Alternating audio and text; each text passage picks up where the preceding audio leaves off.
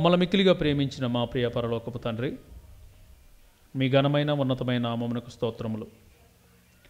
మీ అపారమైన ప్రేమను బట్టి తండ్రి మమ్మల్ని సజీవ లెక్కలలో కాపాడి మా బ్రతుకు దినాల్లో తండ్రి ఒక దినాన్ని మాకు జత చేసి ఆ దినంలో తండ్రి మీ మాటలు ధ్యానించడానికి మా జీవితాల తండ్రి మరి సరిచేసుకోవటానికి మీరు మాకు ఇచ్చినటువంటి మరొక శ్రేష్టమైన సమయమును బట్టి తండ్రి మీ కృతజ్ఞతలు. మీ బిడ్డలమైన మేము మీ మాటలు ధ్యానించుచుండగా తండ్రి మీరు మాతో ఉండండి. ఏ మాటలు ఏ ఉద్దేశాలతో రాయించారో తండ్రి ఆ ఉద్దేశాలు ఎరుగుటకు తండ్రి మా మనోనేత్రాలు వెలిగించండి. చెప్పబోయే వాక్యం మా జీవితాల్లో ఫలం తీసుకురావాలని. యేసుక్రీస్తు ప్రభుల వారి అతి పరిశుద్ధమైన నామమున ఈ ప్రార్థన అడిగి వేడుకుంటున్నాం మా కన్న తండ్రి. ఆమెన్. ప్రియమైన దేవుని వర్లారా అందరికీ కూడా యేసుక్రీస్తు నామన అందరికీ వందనాలు. ప్రియ దేవుని బిడ్డలారా దేవుడు సృష్టి ఆరంభంలోని సుమారుగా ఆరు దినాలండి. ఎన్ని దినాలు? ఆరు దినాలు. ఈ ఆరు దినాలలోని దేవుడు ఈ అనంతమైనటువంటి ప్రకృతిని అనంతమైనటువంటి సృష్టిని కలిగించారు. ఈ అనంతమైనటువంటి సృష్టిలోని ఆయన ఏం కలిగించారు? ఒక్కసారి మీరు ఎప్పుడూ చదువుకున్న మాటలే ఒకసారి మరలా చూద్దామండి. మరలా ఒక్కసారి చూద్దామా? అది కాండం మొదటి అధ్యాయము మొదటి వచనం నుంచి చూద్దాం. ఆది అందు దేవుడు భూమి ఆకాశములను సృజించను ఆది అందు అని అంటే ఇన్ ద బిగనింగ్ అని అర్థం. ప్రారంభం. ఈ ప్రారంభంలోని అప్పుడు భూమి ఎలా ఉంది అంటే నిరాకారంగా ఉంది దానికి ఒక రూపం లేదు. అలాంటప్పుడు దేవుడు ఎలా చేస్తూ ఉన్నాడు అని అంటే ఆయన ఫస్ట్ మూడో వచనంలో అంటున్నారండి దేవుడు వెలుగు కమ్మని పలుకగా వెలుగు కలిగెను అని ఉందండి. ఏమని పలికారంట? వెలుగు వెలుగు వెరీ గుడ్ నెక్స్ట్ ఏమన్నారు? దేవుడు వెలుగును చీకటిని వేరుపరిచారు. వెలుగుకు ఒక పేరు పెట్టారు చీకటికి ఒక పేరు పెట్టారు.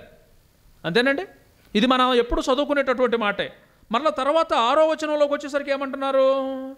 జలముల మధ్య ఒక విశాలము కలిగి ఆ జలములను ఈ జలములను వేరుపరచునుగాక వేరుపరచునుగాక అని పలికెను. దేవుడు ఆ విశాలమును చేసి విశాలము క్రింది జలమును విశాలము మీది జలములను వేరుపరచగా ఆ ప్రకారమాయను అని ఉంది అంటే సృష్టి యొక్క నిర్మాణ క్రమాన్ని తెలియజేస్తున్నారండి.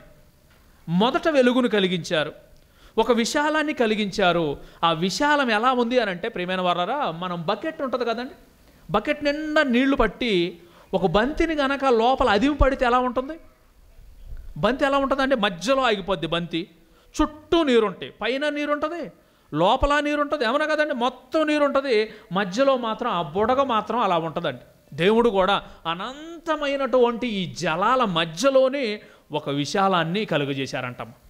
ఇప్పుడు విశాలం లోపల నీళ్ళు ఉంది విశాలానికి బయట నీళ్ళు ఉంది గాలి బుడగకు బంతి లోపల నీళ్ళు రాలేదు మన దగ్గర అయితే కానీ దేవుడు చేసినటువంటి ఆ విశాలం లోపలికి నీళ్ళు వచ్చేసినాయి. విశాలం బయట నీళ్ళు ఉన్నాయి. ఇప్పుడు లోపల ఉన్న నీళ్ళని ఏమన్నారంటే దేవుడు మీరంతా కలిపి ఒక చోట సమకూర్చండి అని అన్నారు. అలా సమకూర్చబడినటువంటి దానికి దేవుడు సముద్రం అని పేరు పెట్టారు.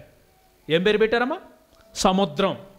ఈ విశాలం అంతటినీ కూడా తర్వాత దానిలో నుంచి ఆరిని నేల చేశారు.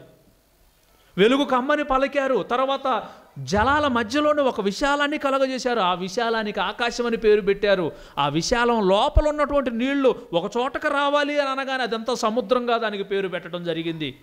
ఆరిన నేలకు దానికి భూమి అని పేరు పెట్టడం జరిగింది. ఇప్పుడు ఈ బుడగ లోపల ఉన్నటువంటి దీనికి లైట్ అవసరం.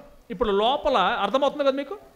ఈ అనంతమైనటువంటి ఈ జలాలకు అవసరమైన వెలుగు మొదట కలిగింది అది శాస్త్రవేత్తలకు కూడా దొరకనటువంటి వెలుగు అది ఇప్పుడు ఒక బుడగని చెప్పానే మధ్యలోని ఆ విశాలం లోపల ఇప్పుడు మరలా దేవుడు ఏం చేస్తున్నారు చూడండమ్మా.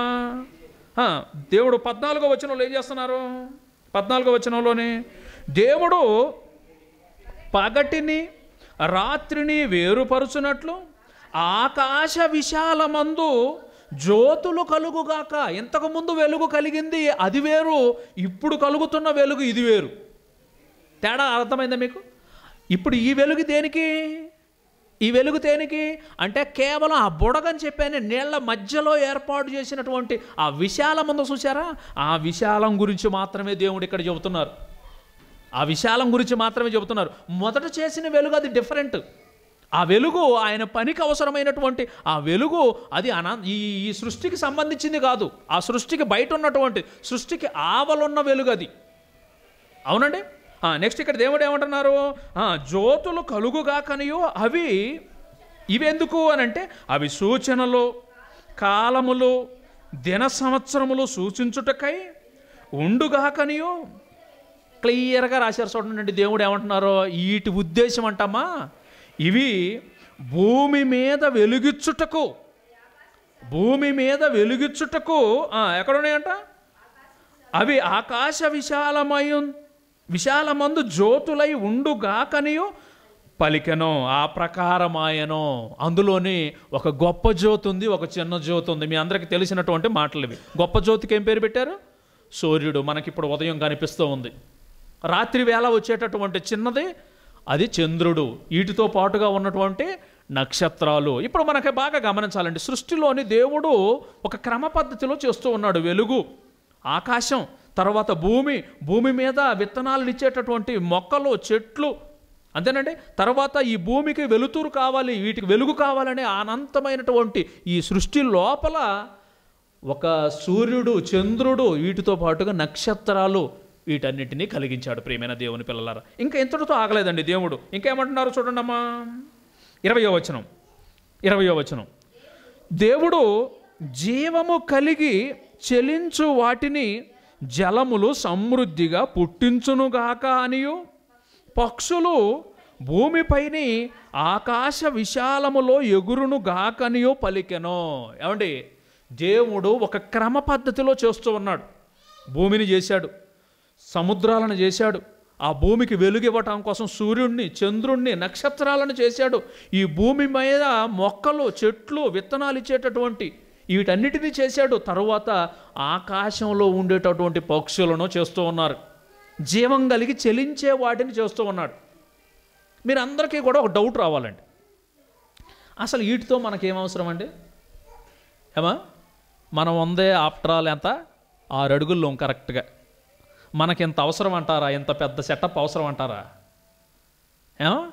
ఏమా? ఇంత పెద్ద సెటప్ అవసరం అంటారా దేవుడు ఏమంటున్నారు? జీవం కలిగి చెలించు వాటిని జలములు సమృద్ధిగా పుట్టించునుగాక అనే పక్షులను కూడా చేశారంటండి. పక్షులను చేశారు. ఏమంటే సృష్టిలోని మీరు బాగా గమనిస్తే ప్రియమైన వర్లరా కోటాను కోట్ల నక్షత్రాలు. కోటాను కోట్ల నక్షత్రాలు అన్ని మండలాలుగా గుంపులు గుంపులుగా ఉన్నాయి. వాటి నక్షత్ర మండలాలు అని అంటాం మనం. ఏమంటాం?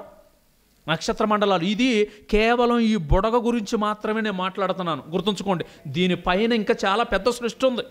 అదే ఇంక అసలు దీని గురించి అర్థం కాలే ఇప్పటివరకు కూడా. ఈ బుడగ లోపల ఉన్నటువంటిది అనంతమైనటువంటి ఇది దీని అంచు ఇంతవరకు దొరకలేదండి సైంటిస్టులకి. ఈ అనంతమైనటువంటి ఈ బుడగ లోపల ఉన్నటువంటి ఈ అనంతమైన ఈ సృష్టి లోపల ఏమి ఉన్నాయనంటే కోటాను కోట్ల నక్షత్రాలు. కొన్ని లక్షల నక్షత్ర మండలాలు ఉంటే సూర్యుడు కూడా ఒక నక్షత్ర మండలానికి చెందినవాడండి. ఆ సూర్యుడు ఉన్నటువంటి నక్షత్ర మండలాన్ని మనం ఏమంటామంటే ఏమంటాము? పాలపొంత నక్షత్ర మండలం అని అంటాం. ఏమంటామమ్మా పాలపొంత నక్షత్ర మండలం అని అంటాం. ఈ పాలపొంత నక్షత్ర మండలంలోని సూర్యుడు ఒక నక్షత్రం అయితే ఆ సూర్యుడు చుట్టూ తొమ్మిది గ్రహాలు అని అంటున్నారు. ఆ తొమ్మిది గ్రహాలలో ఒక గ్రహం చిన్న గ్రహం పేరు భూమి. ఆ భూమి పైన ఎన్ని ఎడారులు ఎన్ని కొండలు ఎన్ని సెలయేళ్ళు ఎన్ని సముద్రాలు ఏమండి ఎన్ని ఖండాలు వీటి మీద ఎన్ని అడవులు అడవులలో ఎన్ని చెట్లు ఎన్ని పక్షులు ఎన్ని జీవరాశులు వీటన్నిటిని ఎవరు చేశారండి? దేవుడు చేశాడండి. దేవుడు చేసి అప్పుడు దేవుడు ఒక అద్భుతమైన మాట అంటున్నాడండి. వీటన్నిటిని చేసిన తర్వాత దేవుడు ఆదామును కలుగజేశాడు ప్రియమైన వార్ల అన్నిటి తర్వాత దేవుడు ఎవరిని కలుగజేశాడు ఆదామును కలుగజేశాడు ఆదామును కలుగజేసి అప్పుడు దేవుడు మనుషులను కలగజేసి దేవుడు ఇరవై ఎనిమిదో వచనంలో ఎంత మంచి మాట అంటున్నారో చూడండి ఎంత మంచి మాట అంటున్నారు? దేవుడు వారిని ఆశీర్వదించను. ఎట్లనగా? మీరు ఫలించి అభివృద్ధి పొంది విస్తరించి భూమిని నిండించి దానిని లోపరుచుకోండి. పక్షులకు చెబుతున్న మాట కాదు ఇది. ఏమండి ఈ మాట ఎవరికి చెబుతుంది? ఇది పక్షులకు చెబుతున్న మాట కాదు జంతువులకు చెబుతున్న మాట కాదు. సముద్రాలలో ఉండేటటువంటి మత్స్యాలకు చెబుతున్నటువంటి మాట కాదు ఇది భూమి మీద ప్రాకేటటువంటి పురుగులకు చెబుతున్నటువంటి మాట కాదు ఇది భూమి మీద పచ్చగా ఉన్నటువంటి మొక్కలకు చెబుతున్నటువంటి మాట కాదు ఇది దేవుడు సాక్షాత్తు తన స్వరూపమందు సృజించుకున్నటువంటి మనుషులకు నరులకు చెబుతున్నటువంటి మాట. ఏమంటున్నారు? మీరు భూమిని నిండించి దానిని లోపరుచుకోండి. మీరు విస్తరించండి. మీరు అభివృద్ధి పొందండి అని అనడండి అని ఇప్పుడు మనకు బాగా అర్థం కావాలమ్మా. ఇప్పుడు ఒక ప్రశ్న. మనుషులు ఒక పక్క ఉన్నారు ఈ మనుషులతో పాటు అనంతమైనటువంటి జీవరాశులు మరొక పక్క ఉన్నాయి ఇప్పుడు అందరికీ ఏం కావాలమ్మా? భోజనం కావాలి ఫస్ట్. ఫస్ట్ ఏం కావాలి మనకి? భోజనం కావాలి. ఇప్పుడు భోజనం దేవుడు ఏర్పాటు ఏం చేశారు అని జాగ్రత్తగా చూస్తే ప్రేమైన వాళ్ళరా ఇరవై తొమ్మిదో వచనంలో అంటున్నారండి. ఏమంటున్నారు? ఇరవై తొమ్మిదో వచనం. దేవుడు ఇదిగో భూమి మీదనున్న విత్తనములిచ్చు ప్రతి చెట్టును విత్తనములిచ్చు వృక్ష ఫలములు గల ప్రతి వృక్షమును మీకిచ్చి ఉన్నాను అవి మీకు ఆహారమగును. ఇది ఎవరితో చెబుతున్నారు? ఇది దేవుడు మనుషులతో చెబుతున్నటువంటి మాట. మరలా చదువుదాం ఆ మాట చూడండి. ఇదిగో భూమి మీదనున్న విత్తనములిచ్చు ప్రతి చెట్టును విత్తనములిచ్చు వృక్ష ఫలములు గల ప్రతి వృక్షమును మీకు ఇచ్చి ఉన్నాను అవి మీకు ఆహారమగును అని ఇక్కడ ఒక అద్భుతమైనటువంటి మాట అంటున్నారండి. ఏమంటున్నారమ్మా? భూమి మీద నుండు జంతువులన్నిటికీ ఆకాశ పక్షులన్నిటికీ భూమి మీద ప్రాకు సమస్త జీవులకును పచ్చని చెట్లు ఆహారము అగును అని అన్నారండి. అర్థమైంది కదా మీకు ఈ వచనం? అమ్మా ఏంటి ఆహారం? పచ్చని చెట్లు అన్నిటికీ ఆహారం. ఫలాలు ఆ చెట్లకున్న ఫలాలు ఎవరికి? ఫలాలు మనకి ఆకులు మిగిలిన వాటికి. ఇక్కడ బాగా పాయింట్ గమనిస్తే దేవుడు ఒక పాయింట్ని బాగా స్ట్రెస్ చేసి చెబుతున్నారండి. ఆ ఒక పాయింట్ని జాగ్రత్తగా చదవాలి. బైబిల్లోని చిన్న మాట కూడా చాలా విలువ కలిగింది ప్రేమైన వారు. చాలా జాగ్రత్తగా చదవాలి మరలా చదువుతాను చూడండి అమ్మా అక్కడ ఏమంటున్నారు? భూమి మీద నుండు ముప్పై వచనం చదువుతున్నాను. భూమి మీద నుండు జంతువులన్నిటికీ పచ్చని చెట్లు ఆహారము. అవునా కదా? అంతేనా? వెరీ గుడ్ నెక్స్ట్ ఇంకొక మాట చదువుతున్నాను. భూమి మీద నుండు సమస్త జీవులకును అంతేనండి? ఆకాశ పక్షులకును. రెండో మాట. మొదటి మాట ఏమన్నారండి?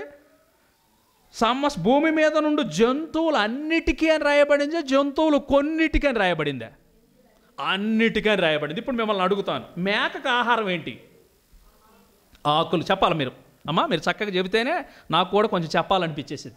మేకకు ఆహారం ఏంటిది? ఆకులు. వెరీ గుడ్ అమ్మా ఒంటికి ఆహారం ఏంటి? ఆకులు. గాడిదకి ఆహారం ఏంటి? ఆవుకు ఆహారం ఏంటి? ఆవు. ఓకేనా? పులికి ఆహారం ఏంటి?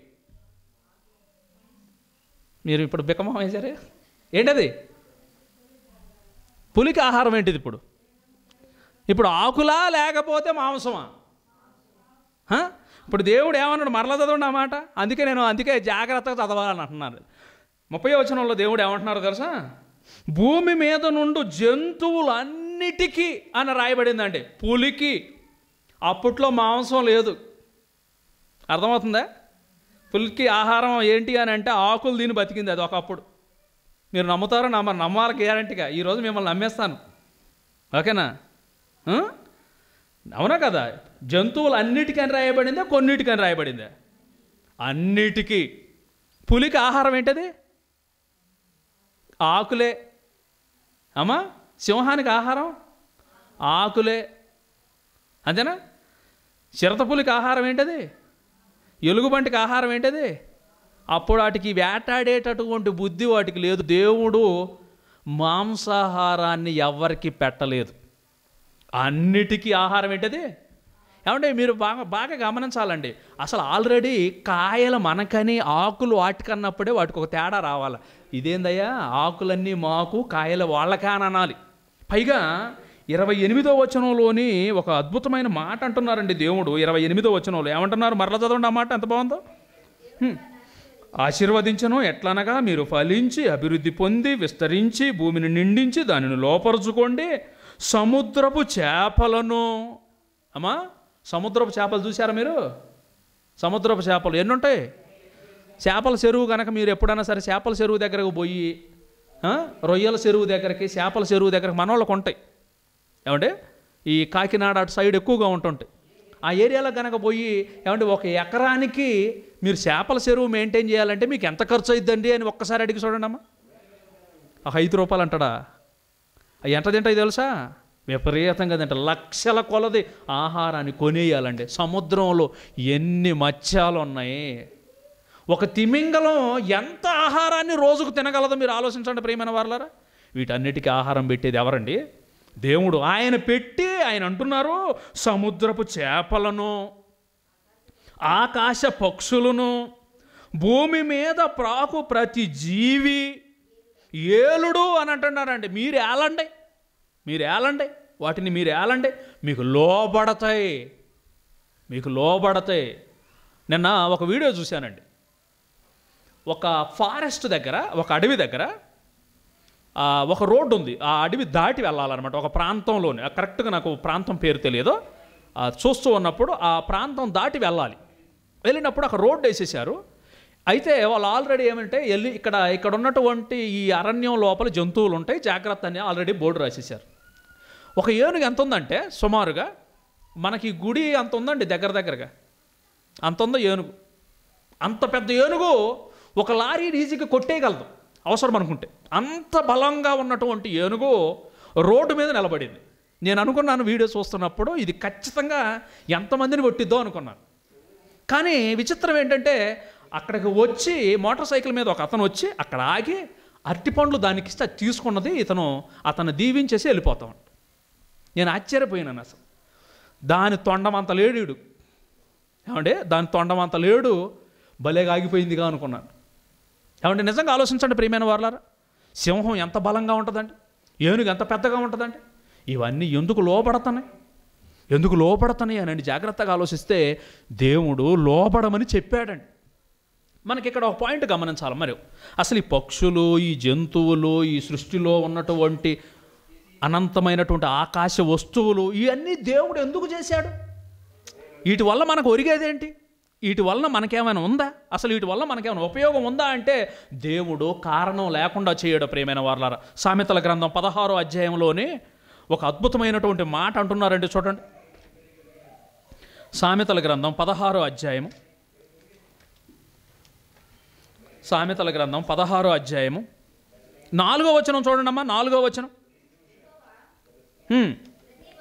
యహోవా ప్రతి వస్తువును దాని దాని పని నిమిత్తము కలుగజేసెను. ప్రతి దానికి ఏముందంటమ్మా?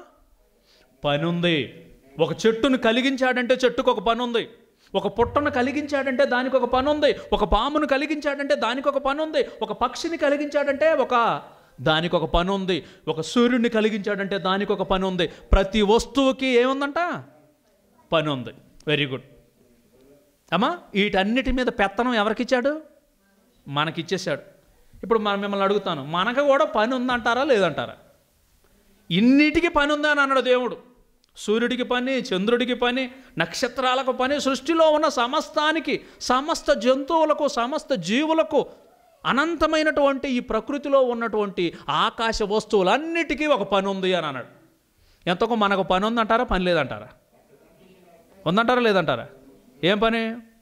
పొద్దున్నే లేచేసి ఇల్లు ఉడ్చి ఓకేనా? కసువంతా బయట బారబోసేసేసి కొంచెం గొడ్డలు ఉతికి ఏమా?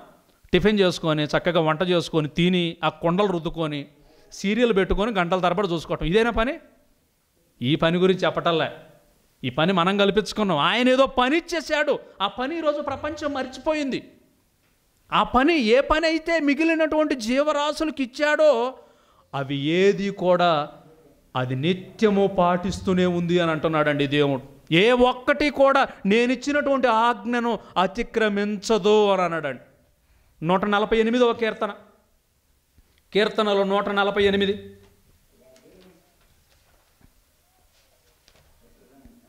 నూట నలభై ఎనిమిదవ కీర్తన. ఆరో వచనం చూడండి ప్రియమైన వారులరా. ఆయన వాటిని నిత్యస్థాయువులుగా స్థిరపరిచి ఉన్నాడు. ఆయన వాటికి కట్టడ నియమించాడు. కట్టడ ఉంది కంట్రోలింగ్ ఉంది. ఏది కూడా అన్నీ ఎవరి కంట్రోల్లో ఉన్నాయి? ఆయన కంట్రోల్లో ఉన్నాయి. నిన్నెందుకు కంట్రోల్లో పెట్టలే? నన్నెందుకు కంట్రోల్లో పెట్టలే తెలుసా? మనం ఆయన పిల్లలం కనుక నేను కంట్రోల్లో పెట్టాల్సిన అవసరం లేదు. నా పిల్లలు స్వతహాగా నా మాటకు లోబడతారు అని అనుకున్నాడండి దేవుడు. కట్టడి చేయాలంటే లెక్క ఆయనకే? ఒక సూర్యుడిని కట్టడి చేసిన వాడు ఒక సముద్రాన్ని ఎండగట్టిన వాడు సముద్రాన్ని అణిచేసిన వాడు నిన్ను నన్ను అణిచేయాలంటే అణిచేయలేడా? కట్టడి చేయలేడా?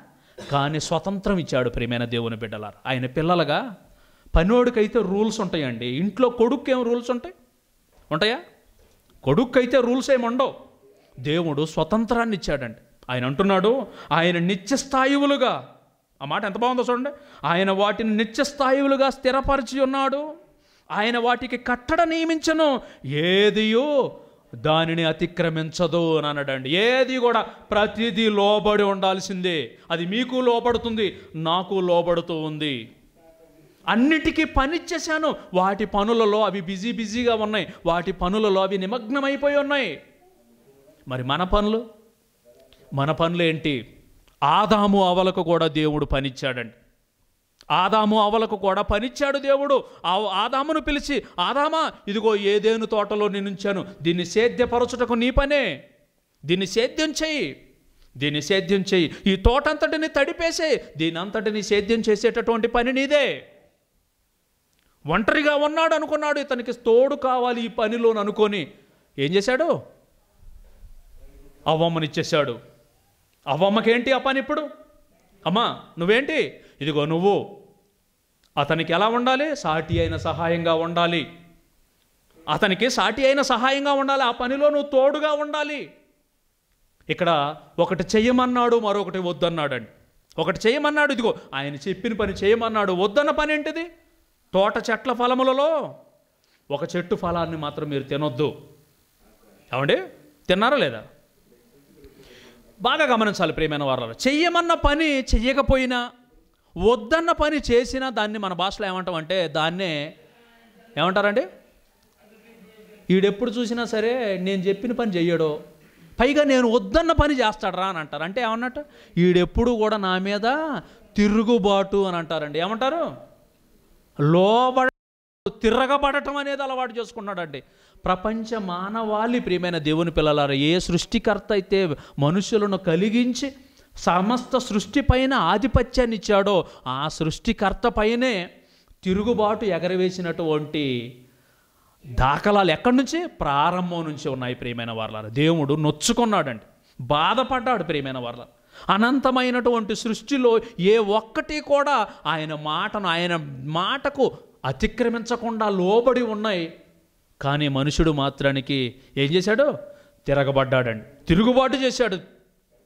ఇలా తిరుగుబాటు అనేది ఒక తరంతో ఆగిపోలేదు ప్రేమైన దేవుని బిడ్డలలా. అలా తిరుగుబాటు చేస్తూ చేస్తూ చేస్తూ ఉన్నప్పుడు అసలు దేవుడు ఈ ప్రకృతిలో ఈ మిగిలినటువంటి జీవులను ఎందుకు కలిగించాడా అనేది మనం క్రైస్తవులుగా బాగా ఆలోచించాలండి.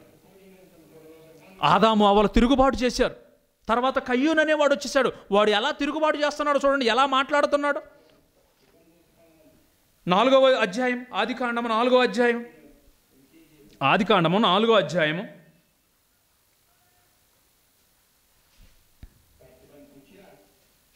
తొమ్మిదో వచనం చూడండి ప్రియమైన వారు. తొమ్మిదో వచనం. ఏమంటున్నారు? దేవుడు అడుగుతున్నారండి. దేవుడు కయ్యూన్ దగ్గరకు వచ్చేసి ఒక ప్రశ్న అడుగుతున్నాడు. ఏమంటున్నాడు?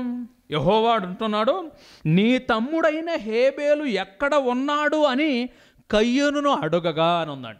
ఏమంటే దేవుడు అడిగే పద్ధతి ఎలా ఉంది? చాలా సాఫ్ట్గా కూల్గా అడుగుతున్నారు. ఇప్పుడు ఈడేం చేస్తున్నాడు? ఈడేం చెప్తున్నాడు చూడండి. హేబేలు ఎక్కడ ఉన్నాడని కయ్యూనును అడగగా అతడు నేనెరగను ఫస్ట్ పాయింట్. నేనెరగను నెక్స్ట్ ఏమంటున్నాడు? అంతటితో ఆగాడా నాకు తెలియదు అని అంటల్లా. భయపట్టల్లా ఇప్పుడు. నెక్స్ట్ ఏమంటున్నాడు? నా తమ్మునికి నేనేమైనా కావలి వాడనా గోప పగిలిందా కొట్టొద్దండి ఎవరితో మాట్లాడుతున్నాడు? ఏమంటే ఎవరితో మాట్లాడుతున్నాడు?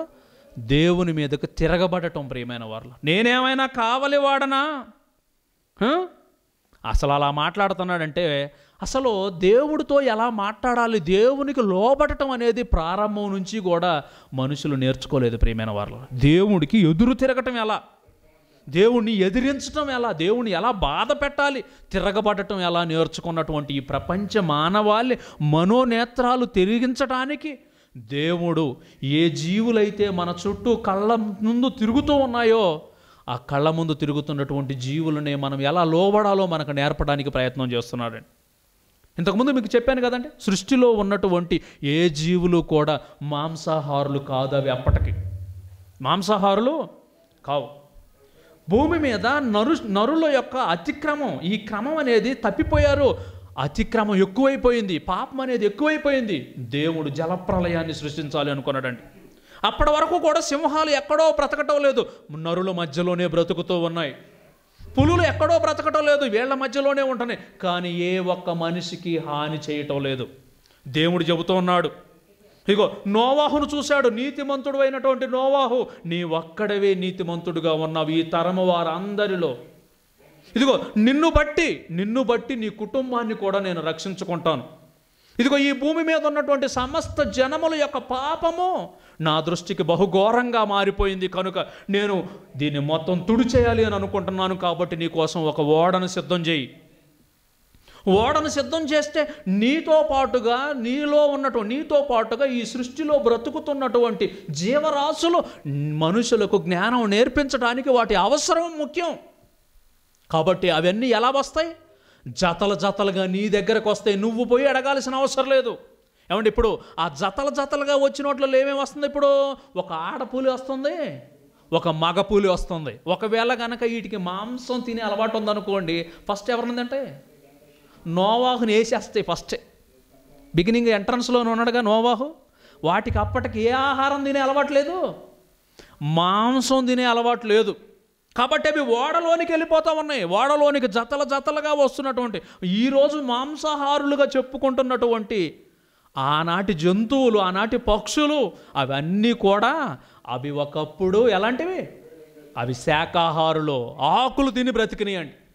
నోవాహుకు దగ్గరకు దేవుడు ఎప్పుడైతే చెప్పాడో జతల జతలుగా లోపలికి వచ్చేసి లోపలికి వచ్చిన తరువాత ప్రేమైన దేవుని బిడ్డలారా లోపలికి సుమారుగా ఒక సంవత్సరం పది రోజులు ఉన్నారండి ఓడలోని టైము.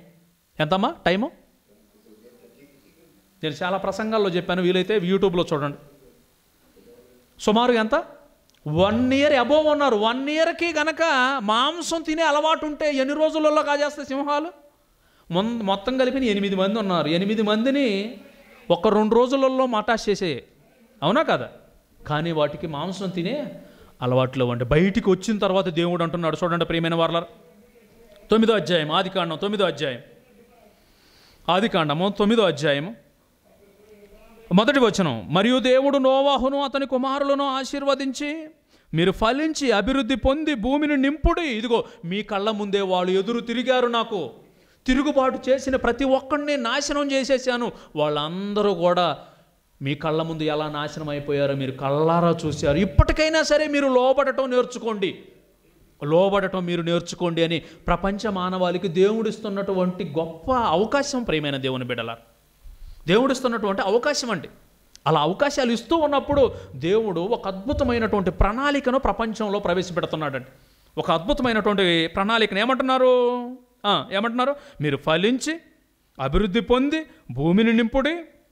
మీ భయమును మీ బెదురును అడవి జంతువులన్నిటికీ ఆకాశ పక్షులన్నిటికీ నేల మీద ప్రాకు ప్రతి పురుగునకును సముద్రపు చేపలన్నిటికీ కలుగును అని అన్నాడండి. ఏ మనం ఎంత ఉన్నామండి? మన భయం వాటికి ఉండటానికి? ఎవరి భయం ఉంటుందంటమ్మా? మీ భయమును మీ బెదురును మనిషి అంటే మిగిలినటువంటి సృష్టిలో ఉన్నటువంటి సమస్తము గడగడలాడిపోతాయి మీకు. ఏ మనమేమన్నా మునగాళ్ళమనే? ఏమా? మనమేమన్నా మునగాళ్ళమనే? లేకపోతే మీసాలు ఏమన్నా?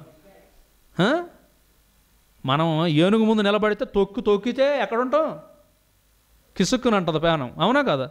అలాంటిది ఎందుకండి భయం? అని దేవుడు ఎందుకు ఈ అన్నీ చేస్తున్నాడు అనేది మనకు అర్థం కావాలి ప్రేమైన దేవుడు ఏదో నేర్పాలనుకుంటున్నాడు మనకి. మీ భయం ఉంటుంది మీ బెదురు ఉంటుంది మీకు లోపడతాయి అవి మీకు లోపడతాయి అవి ఎందుకు లోపడుతున్నాయో తెలుసా? మీరు ఎదురు తిరగటం ఆపేయండి ఎదురు తిరగటం మీరు మానేయండి. లోపడటం అంటే ఏంటో ఇప్పటి వరకు మీకు అర్థం కాలేదు కానీ మీకు అర్థం కావటం కోసం ఇదిగో వాటినే మీకు ఒక పాఠాలుగా మీ ముందు కళ్ళ ముందు పెడుతున్నాను అని అంటున్నాడండి. అని ఒక మంచి మాట అంటున్నారు. చూడండి అండి ఏమంటున్నారు? అవి మీ చేతికి అప్పగింపబడి ఉన్నవి. ప్రాణము గల సమస్త చరములు మీకు ఆహారములగును. పచ్చని కోర మొక్కలను ఇచ్చినట్లుగా మీకు ఇచ్చి ఉన్నాను. మాంసాహారం ఎప్పుడు స్టార్ట్ అయింది? మాంసాహారం నోవాహు జలప్రలయం తరువాత స్టార్ట్ అయిందండి. అంతకుముందు మాంసాహారం భూమి మీద లేనే లేదు. అంతకుముందు ఎందుకు లేదు? ఆయనకు మాంసం పెట్టడం చేత కాదా? పెట్టడం చేత కాదా? ఆయనకు అసాధ్యమైంది ఏముంది ప్రియమైన దేవుని పిల్లలారా? ఆయనకు అసాధ్యమైంది ఏమీ లేదు. దీని ద్వారా ఏదో నేర్పాలి అని అనుకుంటున్నారండి. ఈ జీవులు కళ్ళ ముందు ఉన్నటువంటి జీవులు ఎందుకు మనకు పచ్చని కూర మొక్కల్లాగా వాటిని మనకు లోపరుస్తూ ఉన్నాడు? వాటి ప్రాణాన్ని తీసుకొని మిమ్మల్ని తినండి అని అంటున్నారు. వాటి వలన మనకేదో నేర్పాలన్నటువంటి దేవుని సంకల్పం ఏంటి? ఈ జీవులు ఎందుకు లోపడుతున్నాయి? మనుషులు ఎందుకు తిరగబడుతున్నారు? తిరగబడుతున్నటువంటి ఈ ప్రపంచ మానవాళికి లోబడుతున్న జీవుల నుండి ఏదో నేర్పాలన్నటువంటి దేవుని ప్రణాళిక మనకు అర్థం కావాలి ప్రియమైన వాళ్ళ అందుకోసమే ప్రపంచంలోని ప్రారంభం నుండి కూడా ఈ జీవులను మన కళ్ళ ముందు తిప్పుతూ మన కళ్ళ ముందు తిప్పుతూ వాటి నుండి మనకి ఏదో నేర్పాలనుకున్నటువంటి దేవుని మనసులోని ఆవేదనను కొన్ని సందర్భాలు మనం జాగ్రత్తగా ఆలోచిద్దామండి ఇదిగో ప్రపంచంలోని చెడిపోతున్నటువంటి తిరగబడుతున్నటువంటి ఈ మనుషులందరిలో నుంచి ఒక జాతినైనా సెపరేట్ చేయాలనుకున్నాడండి దేవుడు. ఒక జాతిని నేను ఎన్నుకోవాలి ఆ జాతి లోబడుతూ ఉండాలి.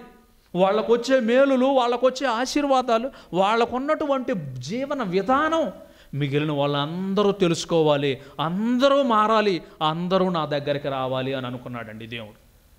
అందుకోసమే భూమిని ఒక్కసారి స్కాన్ చేసి చూస్తే దేవుడి మాటను అంగీకరించే ఒక్కడు కనపడ్డాడండి. ఆ ఒక్కడే మన తండ్రి అయినటువంటి అబ్రహాం గారు. ఎవరు? అబ్రహాం గొప్పగా బహు గొప్పగా బ్రతికాడు. తన గర్భవాసమున వృద్ధాప్యంలో పుట్టినటువంటి కొడుకును కూడా బలివ్వటానికి దేవుడు మాట కోసం వెనకాడనటువంటి మహావీరుడు విశ్వాస వీరుడు అబ్రహాము గారు. అబ్రహాము గొప్పగా బ్రతికాడు. తర్వాత ఇస్సాకు వచ్చారు. ఇస్సాకు గొప్పగా బ్రతికాడు. యాకోబు వచ్చాడు. వాళ్ళ తర్వాత ఇజ్రాయేలీలు వచ్చేసాడు ఇజ్రాయేలీలు ఇదిగో నా పిల్లలు నేను ప్రత్యేకంగా ఏర్పాటు చేసుకున్న జనాంగం వీళ్ళు ఈ జనాంగం వీళ్ళ మధ్య జరుగుతున్న ప్రతి సందర్భం ప్రపంచంలో అందరికీ కూడా ఆదర్శప్రాయంగా కావాలి అని అనుకున్నారు ప్రేమైన వాళ్ళు అలాంటి ఇజ్రాయేలీలు ఐగుప్తు అనేటటువంటి దేశంలో నాలుగు వందల సంవత్సరాలుగా బానిసత్వం అండి. ఎన్ని సంవత్సరాలమ్మా? నాలుగు వందల సంవత్సరాలుగా బానిసత్వంలో ఉండారు. నాలుగు వందల సంవత్సరాలుగా బానిసత్వంలో ఉండి వాళ్ళు దేవుడికి ఒక ప్రార్థన చేశారండి. ఏంటి బ్రతుకులు? మా విలువ లేనటువంటి ఈ జీవితాలు ఏంటి దేవాసలు నువ్వు ఉన్నావా? నువ్వు ఉంటే మా పితరులు దేవుడు అని అన్నారే అబ్రహాముకు దేవుడు అంటున్నారు ఇస్సాకుకు దేవుడు అంటున్నారు యాకోబుకు దేవుడు అంటున్నారు. అసలు నువ్వు ఉంటే మా బ్రతికెందుకయ్యా? ఎలా అయిపోతుంది. మాకు మా కష్టాలు ఎప్పటికీ తీరవా? మా బాధలు ఎప్పటికీ కూడా ఇలానే ఉండాల్సిందేనా అని మొర పెడితే ప్రియమైన వార్లరా ఏమంటే ప్రార్థన ఎవరు చేశారండి? ఇజ్రాయేలీలు చేశారు. ఆ ప్రార్థనకు దేవుడు సమాధానం చెబుతున్నారండి. చూడండి నిర్గమ కాండము. నిర్గమ కాండము మూడో అధ్యాయము. వాళ్ళు చేసిన ప్రార్థనకు సమాధానం చెబుతున్నారండి దేవుడు. ఏడో వచనం చూద్దాం ఏడో వచనం. మరియు అమ్మ నిర్గమకాండము మూడో అధ్యాయము ఏడో వచనం. మరియు యహోవా నేను నేను ఐగుప్తులోనున్నటువంటి నా ప్రజలు ఇజ్రాయేలీల యొక్క బాధను నిశ్చయముగా చూచుతుని పనులలో తమ్మును కష్టపెట్టు వారిని బట్టి వారు పెట్టినటువంటి మొరను వింటిని వారు మొర పెట్టారు ఆ మొరను నేను విన్నాను. మొర పెట్టింది ఎవరండి? ఇజ్రాయేలీలే. కాపాడమని బతిలాడింది ఎవరు? ఇజ్రాయేలీలే. ఈ బానిసత్వం వద్దని చెప్పింది ఎవరు? వాళ్ళే ఇక్కడి నుంచి తీసపోమని చెప్పింది ఎవరు? వాళ్ళే ఈ బాధల్లోంచి విడుదల చేయి బాబు అని దేవుడిని బ్రతిమలాడితే దేవుడు అంటున్నాడు. వాళ్ళ మరణం విన్నాను నేను. కాబట్టి వాళ్ళ దగ్గర నుంచి అప్పుడు మోసేను ఎన్నుకొని మోసేను అక్కడికి పంపించాడండి. ఇప్పుడు ఈ ఇస్రాయేలీలకి దేవుడు అంటే నమ్మకం కలగాలి. ఫస్ట్ ఏం కలగాలమ్మా? ఒక్కసారి మనసు నిండా నమ్మకం కలిగింది అనుకోండి అనుమానం ఉన్నోడి దగ్గర ఏమంటే కలిసిమెలిసి ఉండలేం. ఏమంటే ఈరోజు సంసారాలు చూడండి ఎలా ఉంటాయి? భార్యాభర్తలు ఇద్దరూ అర్థం చేసుకున్నారు అనుకోండి అమ్మా వంద మంది చెప్పినా కూడా భర్త తన భార్యను అనుమానించడు. అనుమానిస్తాడా? అనుమానించడు. ఒకవేళ అనుమానం ఉన్నవాడి దగ్గర వంద ప్రూఫ్లు పెట్టినా కూడా వాడికి నిద్ర పట్టదో ఈమెకు నిద్ర పట్టలేడు ఆ కుటుంబం ఎప్పటికీ కూడా కలిసి ఉండదు. అవునా కదా? అనుమానం ఉన్న చోట అలా ఉండదు ప్రియమైన ఇప్పుడు ఇజ్రాయేలీలు ఎవరిని నమ్మాలి? దేవుణ్ణి మనస్ఫూర్తిగా నమ్మాలి. మనస్ఫూర్తిగా నమ్మాలి. పైగా అబ్రహాముకు నేనే దేవుడను ఇస్సాకుకు నేనే దేవుడను యాకోబుకు నేనే దేవుడను వారు ఎక్కడో ఉన్నటువంటి స్థలాలలో నుంచి తీసుకొచ్చి పాలు తేనెలు ప్రవహించు దేశాన్ని గిఫ్ట్గా ఇచ్చింది నేనే. ఈ భూమిని కలగజేసిన వాడను నేనే. ఈ భూమి మీద ఉన్నటువంటి సమస్త జనులు నా వాళ్ళే. వీళ్ళందరినీ రక్షించుకోవటం కోసం మిమ్మల్ని ఎన్నుకొన్నాను. మిమ్మల్ని ఎన్నుకున్నాను. మీ పితరుడైనటువంటి అబ్రహామును బట్టి మిమ్మల్ని ఎన్నుకున్నాను. మీరు మీ మధ్యలోని గనక నా కట్టడలు నా విధులు మీరు జాగ్రత్తగా పాటిస్తే మిగిలిన వాళ్ళందరూ నాకు దగ్గర అవుతారు కాబట్టి వీళ్ళు నమ్మాలి ఇప్పుడు. ఇప్పుడు నమ్మాలి అని అంటే ఏం చేయాలి దేవుడు? దేవుడు ఏదో ఒకటి చేయాలిగా? అమ్మా దేవుడు ఏదో ఒకటి చేయాలి ఇప్పుడు. దేవుడు మోషేను పిలిచి నువ్వు వెళ్ళు. ఐగుప్తు దేశంలోనికి వెళ్ళు. ఐగుప్తు దేశంలోకి వెళ్ళినప్పుడు నా సర్వ సైన్య సమూహాలు బయలుదేరతాయి. నా సర్వ సైన్య సమూహాలు బయలుదేరతాయి. ఐగుప్తులోని ఎవడు కూడా నిన్ను టచ్ చేయలేడు. మోషే నువ్వు వెళ్ళు. నీ వెనక నేనున్నాను. ఆ ప్రజలందరూ కూడా నేనున్నాను అన్న సంగతి వారికి అర్థమయ్యేంత వరకు కూడా నీ చేత నేను కొన్ని కార్యక్రమాలు చేయబోతున్నాను నువ్వు వెళ్ళు అని అన్నారు. ఇప్పుడు బాగా గమనించాలండి. ఆల్రెడీ మోషే అన్నగారు ఒక హంతకుడు ఒకని చంపి ఆ దేశం నుంచి పారిపోయినోడు. మటర్ కేసు ఉంది ఆల్రెడీ మనోడి మీద. ఏ కేసు ఉందమ్మా? మటర్ కేసు ఉంది. మటర్ కేసు ఉన్నోడు అక్కడే ఆల్రెడీ పరారైనోడిని దేవుడు ఏమంటున్నాడు? నీ కేసు గురించి నువ్వేం భయపడవద్దు నీ కేసుకి నేనున్నాను నువ్వు వెళ్ళు అని అంటున్నాడు. నీకు బెయిలే కాదు అసలు నేను అరెస్ట్ చేసే మగాడే ఎవడో ఉండడు నువ్వు వెళ్ళు అని అంటాను వెళ్తారా? వెళ్తామా మనమైతే? అక్కడికి వెళ్ళాడండి. వెళ్ళి ఇప్పుడు రాజు ఎదుట మాట్లాడాలి ప్రియమైన దేవుని బిడ్డల రాజు ఎదుట మాట్లాడాలి. దేవుడు చెప్పిన మాటలను రాజు ఎదుట చెప్పాలి. రాజును గజగజ వణికించాలి. రాజును గజగజ వణికించాలి అని అంటే అక్కడ కొన్ని అద్భుతాలు జరగాలి. ఆ అద్భుతాలే మనం పది తెగుళ్ళు అని అంటున్నామండి ఏమన్నాం? ఐగుప్తులో జరిగినటువంటి పది తెగుళ్ళు. ఇదిగో మోసే చెబుతున్నాడండి. అక్కడ ఉన్నటువంటి ఫరో చక్రవర్తికి ఫరో ఇదిగో ఈ సైన్య ఈ ఈ జనాన్ని ఇజ్రాయేలీల ఈ జనాంగాన్ని విడిచిపెడతావా విడిచిపెట్టవా? ఒకవేళ విడిచిపెట్టకపోతే రేపు ఈ టైం కల్లా నదులలో మొత్తం కూడా నీళ్ళంతా కూడా ఏమైపోతాయి? నీళ్ళంతా కూడా ఏమైపోతాయి? రక్తంగా మార్చబడుతూ ఉంది ఏమంటే నీళ్ళన్నీ రక్తంగా మార్చబడితే లోపల ఏముంటాయి? నదులలో ఏముంటాయమ్మా చేపలు తాబేళ్ళు పురుగులు ఏమండి? చాలా ఉంటాయా ఉండవా? ఇప్పుడు ఇవన్నీ కలిసి ఏం చేయాలా? అదేంటి దేవా? ఎవడికో నీళ్ళన్నీ రక్తం కార్చడం కోసం మమ్మల్ని చంపేస్తావా అని ఈ మొర పెట్టాలి. ఏమండి? అవునా కదా? కానీ దేవుని మాటకు అవసరం అనుకుంటే తమ ప్రాణాలు పోయినా బాగా గమనించాలి. అసలు ఈ చదువుతున్నప్పుడు నాకు చాలా ఆశ్చర్యం అనిపించిందండి. చాలా ఆశ్చర్యం అనిపించేసింది. నువ్వు నీళ్ళ దగ్గరకు పోయి అక్కడ పోయి నిలబడు అంతే చాలు. నువ్వు కర్ర ఎత్తేసేయి నీళ్ళని ఏమైపోతాయి? రక్తంగా మార్చబడతాయి. ఈ నదులలో ఉండేటటువంటి జలచరాలు ఎన్ని చచ్చిపోయి ఉండాలి ప్రేమైన దేవుని పిల్లలు ఎన్ని మరణించి ఉండాలి? దేవుడు చెప్పిన ఒక్క మాట కోసం ఇన్నిటి ప్రాణత్యాగమా? అదే మనుషుల గురించి ఒక మాట చెప్పారనుకోండి ఇదిగో ఒక్క మాట కోసం ఇదిగో నన్ను నమ్ముకున్నటువంటి ఊరిగములో ఉన్న తెలుగు క్రైస్తవులు అందరూ నా కోసం ప్రాణం పెడతారంటే ఒక్కడన్నా ఊరిగములో ఉంటాడా? ఒక్కడు కూడా ఉండడు. ఉంటారా?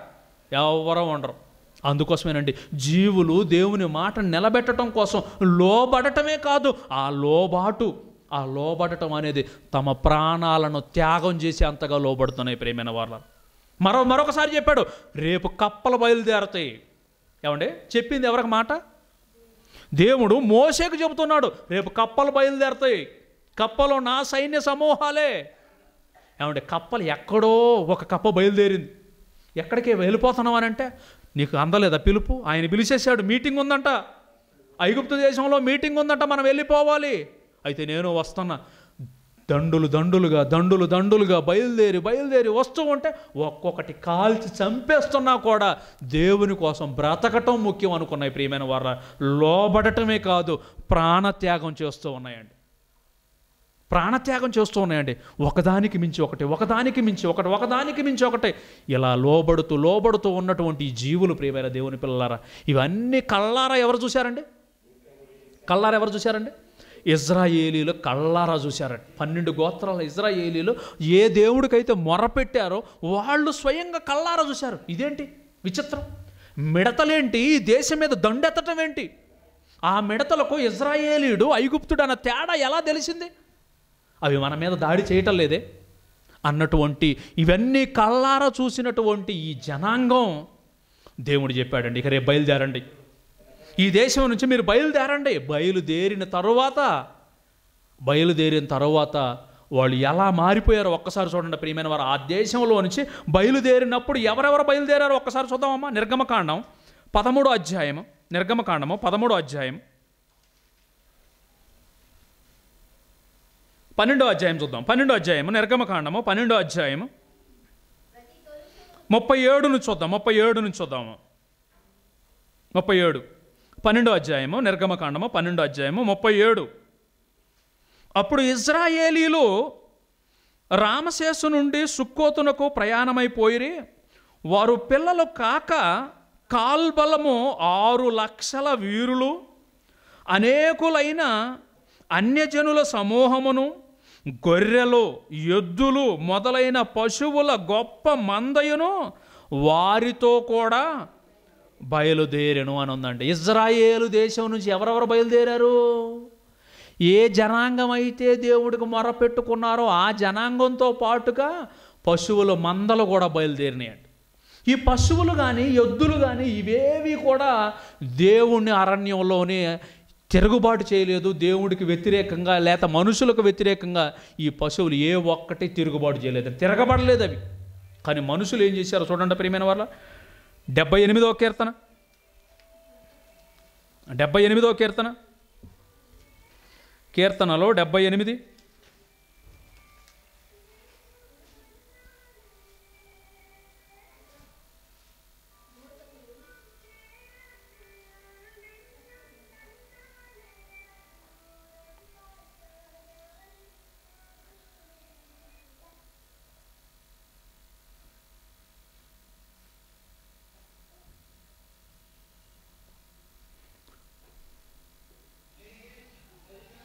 పదిహేడవ వచనం చూడండమ్మా పదిహేడవ వచనం.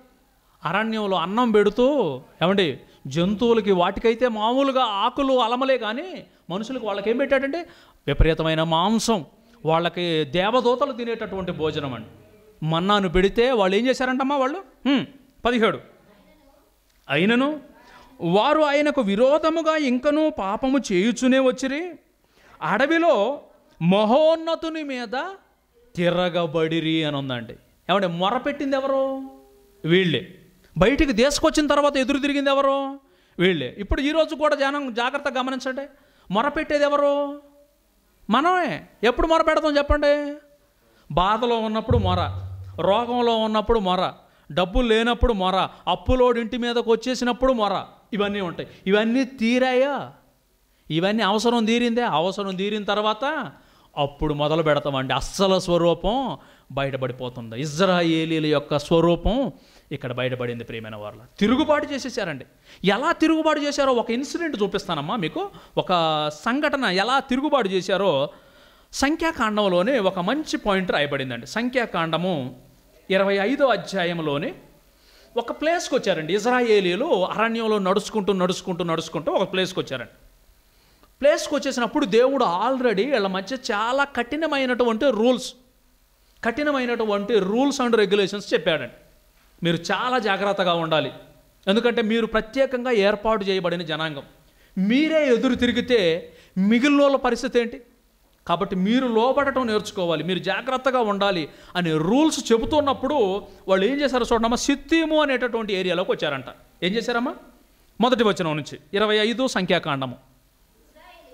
ఇజ్రాయేలీలు సిత్తిములో దిగి ఉండగా ప్రజలు ఏం చేస్తున్నారంటమ్మా? మోయాబురాండ్రతో వ్యభిచారము చేయసాగిరి ఎవరిళ్ళు? ఎవరిళ్ళు? ఈ ఇజ్రాయేలీలు ఎవరు? దేవుడు ఏర్పాటు చేసుకున్న జనాంగం. మీరు బాగా గమనించాలి ఏర్పాటు చేసుకున్న జనాంగమే వ్యభిచారంలో దిగితే అసలు దేవుడు అంటే తెలియనోడు ఇంకెంత ఘోరంగా ఉండాలా? దేవుడు ఎరిగిన వాడే ఇంత వ్యభిచార స్థితిలోకి ఉంటే అది ట్రైనింగ్ జరుగుతుంది. వాళ్ళే మొరపెట్టి వాళ్ళే దేవుని బ్రతిమలాడి వాళ్ళే మమ్మల్ని ఇక్కడి నుంచి తీసుకుపోని బ్రతిమలాడితే దేవుడు తీసుకొస్తూ ఉంటే దారిలోనూ ఇంకా ఆ దేశానికి వెళ్ళను కూడా వెళ్ళలేదు. ఆ దేశానికి వెళ్ళను కూడా వెళ్ళలేదు. ఆయన అవమానపరుస్తూ ఆయన్ని హింసిస్తూ ఆయన ఆయన మీద తిరుగుబాటు చేస్తూ ఆయన మీద జోకులండి. ఏ ఇంతమంది ఉన్నారు ఇన్ని లక్షల మంది ఉన్నారు నిజంగా ఆయన యహోవానే ఆయన మనకు భోజనం పెట్టగలడా? అని అంటే ఎంత బాధపడాలి ప్రేమైన వాళ్ళ బాధపడిన తర్వాత అక్కడ అది కాగా అలాంటి అలాంటి ఎదురు తిరగటమే కాకుండా వ్యభిచారం చేస్తూ ఉన్నారంటండి. దేవుడు కోపంతో రగిలిపోయాడండి. రగిలిపోయి దేవుడు ఒక మాట అన్నాడు. మోసే ఏ ప్రజలైతే నాకు వ్యతిరేకంగా మోయాబు రాండ్రతోని వ్యభిచారం చేస్తున్నారో వారి దేవతలకు ప్రార్థన చేస్తున్నారో ఒక్కొక్కడిని తూర్పు దిక్కున సూర్యుడికి ఎదురుగా సూర్యుడికి ఎదురుగా ఉరి తీసేయని అన్నాడండి దేవుడు. ఇప్పుడు ఉరి తీసే డేరు కూడా ఉండాలి అక్కడ ఉన్న వాళ్ళకి? ఒకవేళ ఉరి తీస్తానంటే మరి ఒక్కళ్ళ ఇద్దరా వ్యభిచారంలో దిగినోళ్ళు? అలా చూసినప్పుడు అసలే దేవుడి కోపం రగులుతుంది అని దేవుని పక్షాన ఉన్నవారు కేకలు వేస్తూ ఉన్నప్పుడు ఒకడు ఒకడు ఇంకా డేర్ చేసిండీ వాడు వాడిని చూడండి ఒకసారి. వాడు ఆ దరిద్రుడు వాడు ఏం చేశాడు? ఆరో వచనం. అమ్మా అప్పుడు ఆరో వచనంలో చూడండి ఏం చేశాడు? ఇదిగో మోసే కన్నుల ఎదుటను. ప్రత్యక్షపు గుడారము యొక్క ద్వారమునొద్ద ఏడ్చుచుండిన ఇజ్రాయేలీల సర్వ సమాజము యొక్క కన్నుల ఎదుటను ఇజ్రాయేలీలలో ఒకడు తన సహోదరుల యొద్దకు ఒక మిథ్యాను స్త్రీని తోడుకొని వచ్చేసాడు ఒక అన్యురాలను ఏం చేశాడు? ఏకంగా ఒక అన్యురాలను పట్టుకొని వచ్చేసాడండి అక్రమ సంబంధం. ఒక స్త్రీని అక్రమ సంబంధంతో తీసుకొని ఎక్కడ తీసుకొచ్చి పెట్టాడు? ఒరే అసలు మీ మధ్య అలాంటి పాపాలే మీ మధ్య ఉండకూడదు అని అంటే ఏం చేశాడు? బయట పోయి చేయటం కాదు ఏకంగా లోపలికి పట్టుకొచ్చేసాడు ఒక స్త్రీని లోపలికి తీసుకొచ్చి ఏ గుడారాలు అయితే దేవుడికి పరిశుద్ధంగా ఉండాలనుకుంటారు ఆ గుడారాలలో వ్యభిచారం చేస్తున్నారండి. ఏమండి ఇంతకంటే దారుణం ఇంకేముంటుందండి? ఇంకెంతకంటే ఇంకొక గొప్ప దారుణాన్ని చూపిస్తాం మీకు. అప్పుడు దేవుడు మహా ఉగ్రత ఉందండి. ఒక పక్క ఉరి తీయండి అని చెప్పేస్తే ఉరి తీస్తారేమోనని మిగిలిన వాళ్ళు ఏడుస్తూ ఉంటే ఆయన ఊరేడదీస్తాడో ఆయన మనం ప్రార్థన చేస్తే పట్టకొచ్చినోడు ఊరేడదీస్తాడో అని కవరింగ్ చేసుకుంటూ తమ పాపాన్ని వెనకేసుకుంటూ ఉన్నటువంటి ఈ జనం లోపలికి ఒకడు ఇంకొక అడుగు ముందుకేసి ఒక స్త్రీని తీసుకొచ్చి వ్యభిచారం చేయడానికి సిద్ధపడ్డాడు అని అంటే ఈ కోపం అనేది దేవుడి ఉగ్రత రగులుతూ ఉంటే దేవుడు ఉగ్రతను అర్థం చేసుకున్నాడండి ఒక వ్యక్తి. ఏం పేరు అతని పేరమ్మా? అమ్మా ఫినెహాస్. ఏం పేరు అతని పేరు? ఫినెహాస్కి బాగా కోపం రగిలిపోయింది. ఛీ! అసలు ఎన్ని మాటలు చెప్పినా సరే మీరు ఇంకెప్పుడు మారతారు? అసలు ఈ కాలం లోపల మన చెప్పులు అరగటం లేదు మన బట్టలు మాయటం లేదు మన తిండికి లోటు లేదు. దేవుడు సమస్తము మన కోసం సిద్ధం చేస్తూ ఉంటే దేవుడు వద్దన్నటువంటి అయినా నీకు భార్య ఉండే నీకు పిల్లలుండే నీకు కుటుంబం ఉండే. పైగా పరస్త్రీ మీద మోహంతో ఒక పరాయి స్త్రీని ఇక్కడికి తీసుకొచ్చి వ్యభిచారం చేస్తే ఆ పిల్లలు ఏమైపోవాలి సమాజం ఏమైపోవాలి కలల కన్నా దేవుడి కోరిక ఏమైపోవాలి అని అనుకున్నాడండి. ఎవరు? ఫినిహాస్ ఒక ఈట తీసుకున్నాడు ఇక మనోడు. ఈట తీసుకొని ఒక్క గుద్దు గుద్దితే ఇద్దరికి దిగబడిందండి ఎవరెవరికి? ఒకటి అయ్యగారికి ఒకటి ఆ అమ్మగారికి. ఇద్దరిని గుద్ది ఒక గుద్దుకి అప్పుడు దేవుడు చాలా సంతోషపడ్డాడండి. అసలు నేను ఓర్వలేనటువంటి స్థితి ఇది నేను ఓర్వలేనటువంటి స్థితి ఇది అలాంటి ఓర్వలేనటువంటి ఇది చూసి ఇదిగో నా సేవకుడిగా ఉన్నటువంటి ఫినిహాస్ నా పక్షమున అది కూడా అతను కూడా ఓర్వలేకపోయాడు కాబట్టి ఇలాంటోడే నాకు సేవకు అవసరం. ఇలాంటి వాడే నా సేవకు అవసరం. కాబట్టి యాజకత్వాన్ని వీళ్ళ ద్వారా చేయించాలని అనుకున్నాడండి. ఎవరి ద్వారా యాజకత్వం చేయించాలనుకున్నాడో? ఇదిగో ఇలాంటి ఫినిహాసు ద్వారా వచ్చినటువంటి అహరోను సంతతికి చెందినటువంటి ఇతను నా యాజకులుగా నా పనివాళ్ళుగా మారాలి అనుకున్నాడు ప్రియమైన వార్లారు. ఇలాంటి వాళ్ళే నా పనివాళ్ళుగా ఉండాలి అనుకున్నాడు దేవుడి పనిలో ప్రకృతిలో ఉన్నటువంటి సమస్తము లోబడుతుంటే ప్రపంచ మానవాళిలో అందరూ ఆయనకు లోబడి అందరూ ఆయన పనిలో ఉండాల్సినటువంటి ప్రపంచ మనుషులలో ఎవరైతే దేవుడి పక్షానికి వస్తున్నారో ఆయన తన పనిని చేశాడు ప్రియమైన వారిలో. ఈ పేరు ఈ కార్యాన్ని తెలుసుకున్నాడంటే ఒక వ్యక్తి. ఒక వ్యక్తి ఏం చేశాడంటే ఇక్కడ జరిగినటువంటి సంగతి అంతా తెలుసుకొని తన కొడుకు కూడా పేరు పెట్టేసేసాడు. నా కొడుకు పేరు కూడా ఫినిహాసే అని అన్నాడు. ఏమన్నాడు? ఈ ఫినిహాస్ తెలుసు కదా మీకు? ఈ ఫినిహాస్ ఎవరు? ఒకసారి చూస్తారు ఆ మాట? ఆ మాట చూడండి ఎంత బాగుంటుంది. ఆరో వచనం తర్వాత తర్వాత వచనం ఏడో వచనం చూద్దాం ఏడో వచనం. ఒక మిథ్యాను స్త్రీని తోడుకొని వచ్చను యాజకుడైన అహరోను మనవడను ఎలియాజర కుమారుడైన ఫినెహాసు అది చూసి సమాజము నుండి లేచి ఈటను చేత పట్టుకొని పడక చోటికి ఆ ఇజ్రాయేలీని వెంబడి వెళ్ళి ఆ ఇద్దరిని అనగా ఆ ఇజ్రాయేలీయుడిని ఆ స్త్రీని కడుపులో గుండా దూసుకొని పోవునట్లుగా పొడిచెను అని ఉందండి. పొడిచేశాడండి. దేవుని పక్షాన రోషంగా ఉన్నవాడిగా ఉన్నాడు ఇతను. ఈ పేరు పెట్టుకొని నేను యాజకుడిని అని ఒక వ్యక్తి స్టార్ట్ చేశాడండి. తర్వాత కాలాల్లోని. మనం కూడా అదే పేర్లు పెడుతుంటాంగా మన మధ్యలో మోసేలు ఉన్నారు మన మధ్యలో దావీదులు ఉన్నారు మన మధ్యలోని గొలియా ఏమంటే ఎవడన్నా సరే గొలియాతుని కొట్టేంతగా గొప్పగా ఉన్నాడా మన వాళ్ళలో?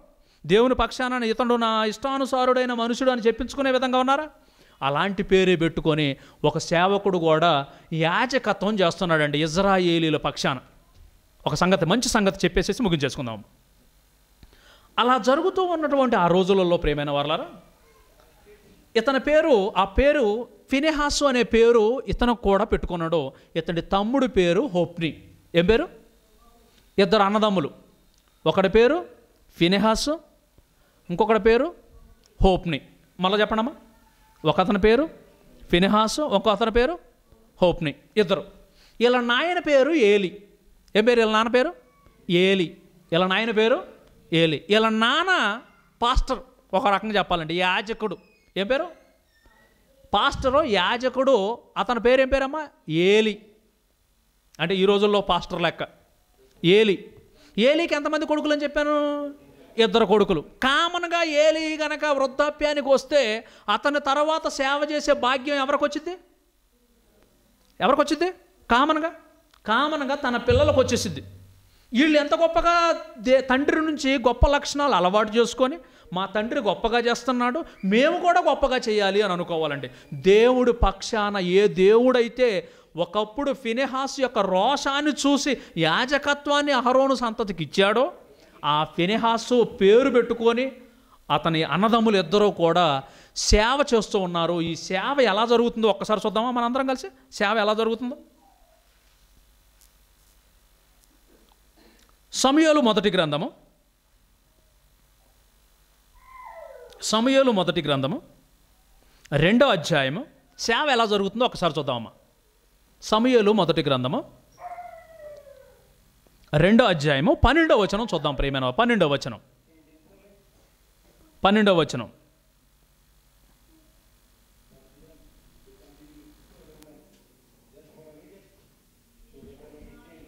ఏలి కుమారులు ఏలి కుమారులు ఎవరెవరని చెప్పాను? మరలా ఒకసారి చెప్పండి. ఏలి కుమారులు ఎంతమంది?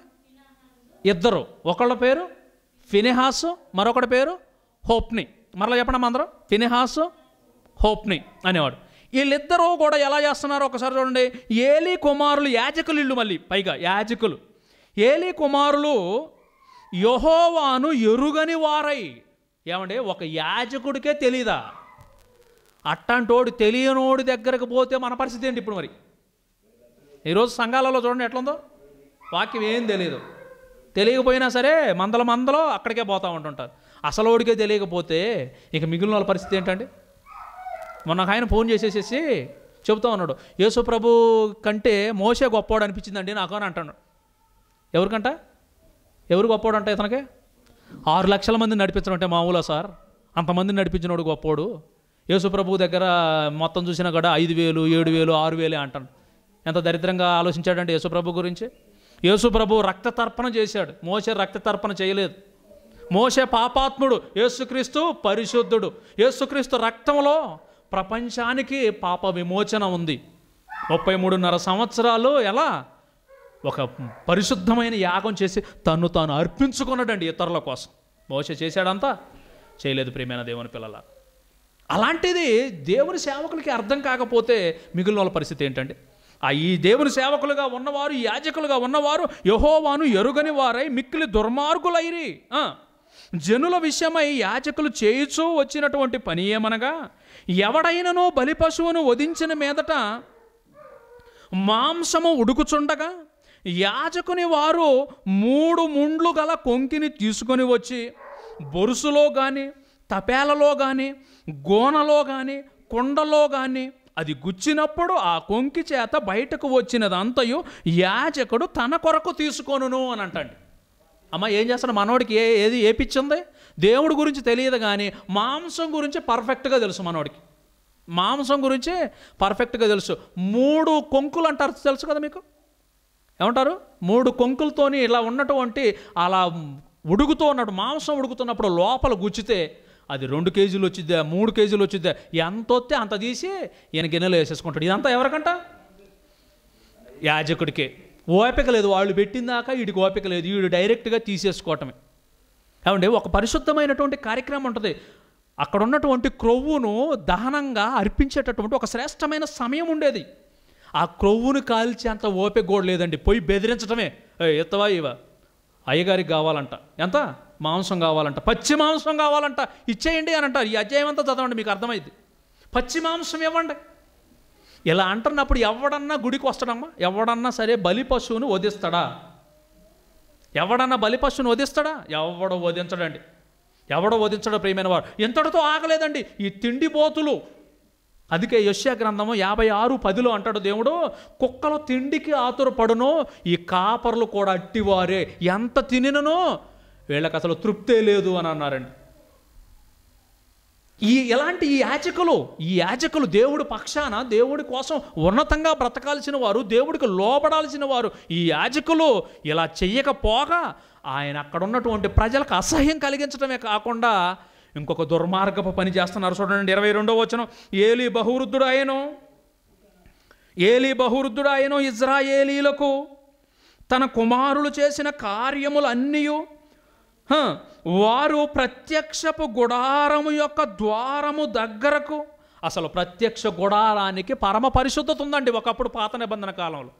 ప్రత్యక్ష గుడారం అని అంటే దేవుని నిబంధన మందసం ఉండాలి. ఆ నిబంధన మందసంలో ఎవడ పడితే వాడు పోవటానికి వీల్లేదు. ఆ మందసం ఉన్నటువంటి అక్కడికి ఎవడ పడితే వాడు పోవటానికి వీల్లేదు. ఇది యాజకుడికి దేవుడిచ్చినటువంటి ఆధిక్యత గొప్పగా ఉండేటటువంటి ఈ భాగ్యాన్ని వాళ్ళు ఎంతో పవిత్రంగా పరిశుద్ధంగా జరుపుకోవాల్సిన వీళ్ళు ఏం చేశారంట? అక్కడికి కొంతమంది లేడీస్ వస్తున్నారంటమ్మా. అమ్మా సంఘానికి ఎలాగైతే స్త్రీలు వస్తారో ఆ పరిశుద్ధమైనటువంటి గుడారం దగ్గరికి కూడా ప్రత్యక్షపు గుడారం దగ్గరికి కూడా కొంతమంది స్త్రీలు సేవ చేయడానికి వస్తున్నారంట. సేవ చేయడానికి వస్తున్నారంటే దేవుడిని నమ్మిన వాళ్ళ దేవుడిని నమ్మని వాళ్ళ ఖచ్చితంగా దేవుణ్ణి నమ్మిన వాళ్ళే దేవుడిని నమ్మినటువంటి బిడ్డలు దేవుడి పని కోసం వస్తే దేవుడి మాటలు చెప్పవలసినటువంటి దేవుని సేవకుడు ఇంకెంత గొప్పగా చెప్పాలా? మనోడు ఏం చెబుతున్నాడు చూడండి. వారు ప్రత్యక్షపు గుడారము యొక్క ద్వారము దగ్గరకు సేవ చేయుటకు వచ్చినటువంటి స్త్రీలతో శయనించుటయు మాట విని వీళ్ళు శయనిస్తూ ఉన్నారండి. ఎక్కడ శయనిస్తూ ఉన్నారు? ఆ గుడారాల దగ్గర. పరిశుద్ధమైనటువంటి ఈరోజు కార్యక్రమాలు చూడండి ప్రియమైన దేవుని పిల్లల ఈరోజు ఏమండి? నిన్నగాక మొన్ననే ఒక టీవీలో ప్రోగ్రాం వచ్చిందండి పాస్టర్ జోసఫ్ అంట. జోసఫ్ యోసేఫ్ గారి పేరండి. ఐగుప్తు దేశంలో దేవుని పేరును ఉన్నతంగా అక్కడ ప్రకటించి దేవుని కోసం గొప్పగా బ్రతికినటువంటి సేవకుడు. ఒక స్త్రీ పట్టుకొని ఇదిగో నా కోరిక తీర్చు నన్ను నువ్వు వశం చేసుకో. మీ యజమానుడికి తెలియదు. మీ యజమానుడికి తెలియదు. మన ఇద్దరం ఎంజాయ్ చేద్దాం రా అన్నా కూడా నా దేవుడికి నేను లోబడి ఉండాలి. ఆయన దృష్టికి నేను పాపాత్ముడుగా ఉండకూడదు. నేను బహుఘోరమైన పాపం ఆయన దృష్టికి చేయకూడదు అని ఆ స్త్రీలో నుంచి పారిపోయి తను తాను జైల్లో పెట్టించుకొని ఉన్నటువంటి గొప్పవాడి పేరు పెట్టుకున్నటువంటి సేవకుడు పాస్టర్ జోసఫ్ ఆ సంఘంలోకి వచ్చినటువంటి ముక్కు పచ్చలారన్నటువంటి పదిహేడు పద్దెనిమిది సంవత్సరాల యవన ప్రాయంలో ఉన్నటువంటి చిన్న బిడ్డను చేరిచి ఆ బిడ్డకు ఏమని చెప్పాడు తెలుసావాడు దరిద్రుడు. ఇదిగో సేవకుడు గనక నీతో శయనిస్తే అది నీకు ఆశీర్వాదం. ఒక సేవకుడితో నువ్వు పవన్ పండుకోవటం బిడ్డ వరస అయిద్దండి. అదే నీ బిడ్డ పక్కన కనుక ఒకడు పడుకుంటే నువ్వు అలానే మాట్లాడతావా? ఎంత దారుణమైనటువంటి మాట ప్రియమైన దేవుని పిల్లల. ఒకవేళ కనుక ఈ సంగతి కనుక ఎవరికైనా చెప్పావా? నువ్వు ఎవరికైనా చెప్పావా? నాకేం కాదు. నేను జైల్లోకి పోతానేమో. కానీ నువ్వు దేవుని దృష్టికి శాపగ్రస్తురాలు అయిపోతావు. భయపడిపోయిందండి లోపల. నిజమేనేమో అనుకుంది. నిజమేనేమో అనుకుంది ప్రేమైన వారు. ఎలాంటి వాళ్ళు అండి దేవుని దేవునికి అవసరం ఎలాంటి వాళ్ళు? దేవునికి ఇలాంటి వాళ్ళు అవసరమా చెప్పండి? ఇంత ఘోరం సమాజంలో జరుగుతూ ఉంటే ఇజ్రాయేలీల మధ్య ఇంత ఘోరం జరుగుతూ ఉంటే ఒక్కడైనా సరే పోయి ఇదిగో నువ్వు చేసే తప్పు ఒక సేవకుడు ఉండు నువ్వు ఇలా ఎందుకు చేస్తున్నావు? అని చెప్పినవాడు ఎవడో లేడండి. ఒకవేళ కనుక ఎవరైనా నాలాంటి వాళ్ళు ఎవరైనా డేర్ చేసి చెప్పారా? చెబితే ఏమంటున్నారు తెలుసా? నువ్వు నీ చేయబట్టి నీ మాటల మూలంగా దేవుని నామం అన్ని జనుల మధ్య దూషింపబడుతుంది అని అంటున్నారు. బాగా ఆలోచించండి ప్రియమైన వారు ఇక్కడ మీరు బాగా గమనించాలి. ఇజ్రాయేలీల మధ్య జరుగుతున్నటువంటి భయంకరమైనటువంటి పాపం ఇది.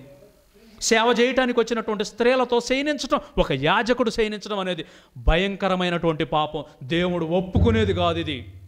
ఒప్పుకునేది కాదు ఇది. ఇది పబ్లిక్లో తెలియాలి ఇది. అలాంటి మృగాలను బయటికి ఏడ్చాలి. అయినా ఎవడో మాట్లాడలేదు ఇజ్రాయేలీలు. ఆ పక్కనే ఉన్నటువంటి పిలిస్తీలతో యుద్ధం స్టార్ట్ అయిందండి. ఎవరెవరికి? ఇజ్రాయేలీలకి పిలిస్తీలకి మధ్య యుద్ధం మొదలైంది. ఏ కాలంలోని?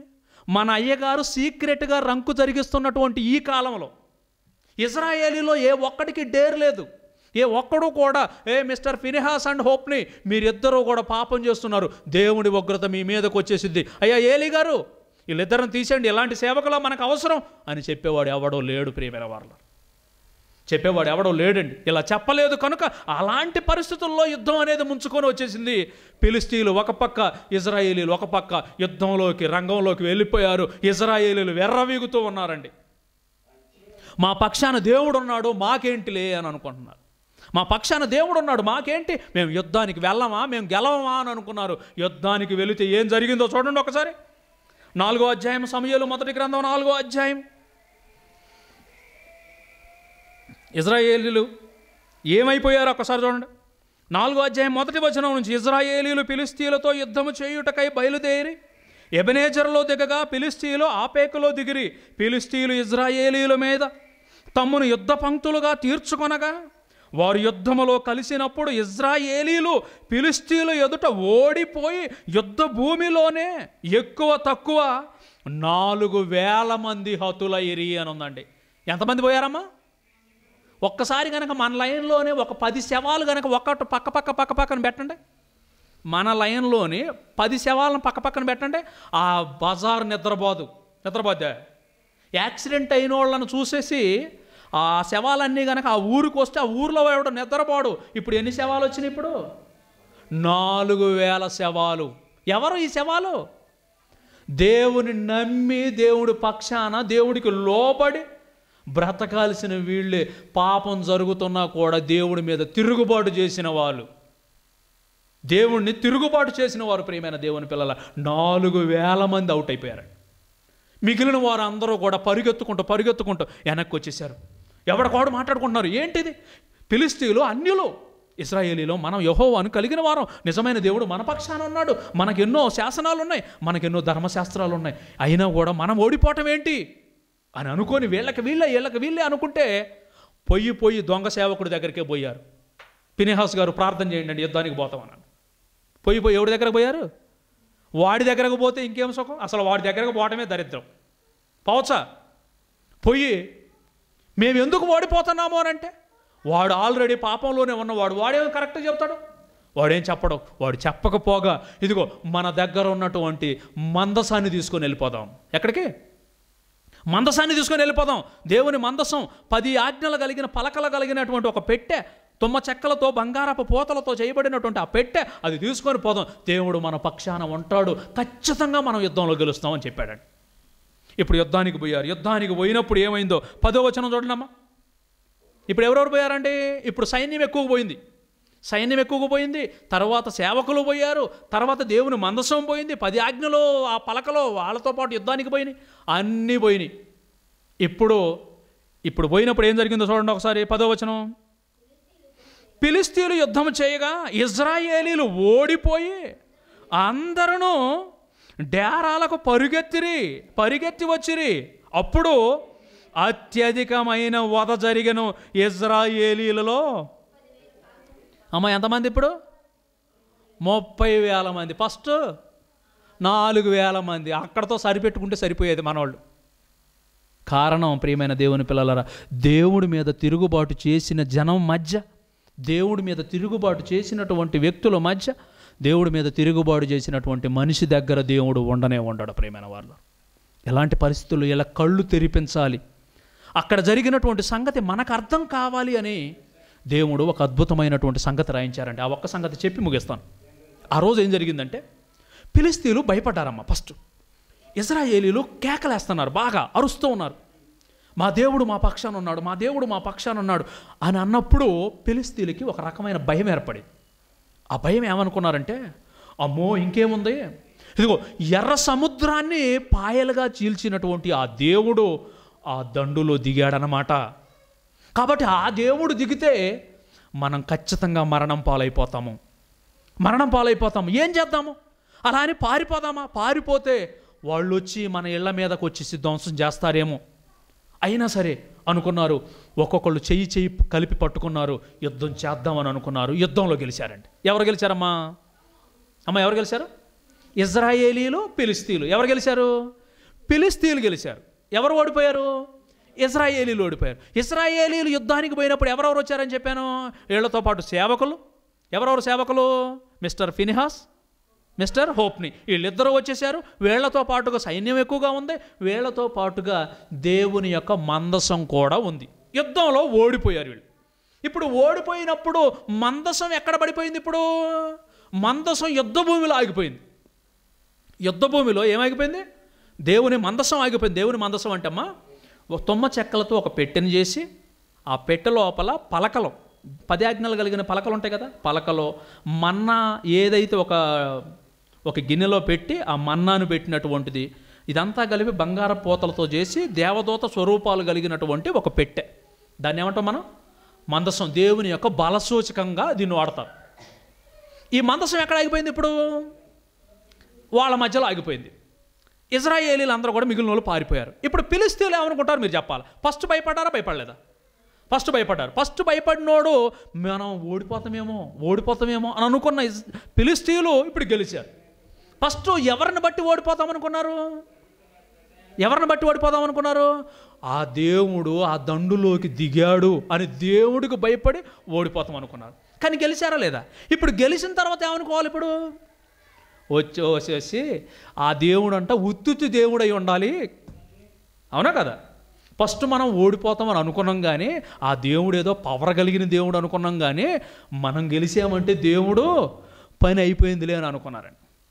దేవుడి పని అయిపోయింది అనుకొని ఈ మందసాన్ని తీసుకుపోయి దాగోను అనేటటువంటి ఒక గుడిలోనికి అష్టారోతు అనేటటువంటి గుడిలోని ఒక దాగోను అనేటటువంటి దేవత ముందు పెట్టారండి. ఎక్కడ పెట్టారమ్మా? వాళ్ళకు ఒక దేవత ఉంటుంది కదా పిలిస్తీలకు ఒక దేవత ఉంది ఆ దేవత ముందు పెట్టారు ఎవరిని తీసుకుపోయి? మందసాన్ని తీసుకుపోయి. అమ్మ కొద్ది నిమిషాలు ఓకే? ఎవరిని తీసుకుపోయి? మందసాన్ని తీసుకుపోయి.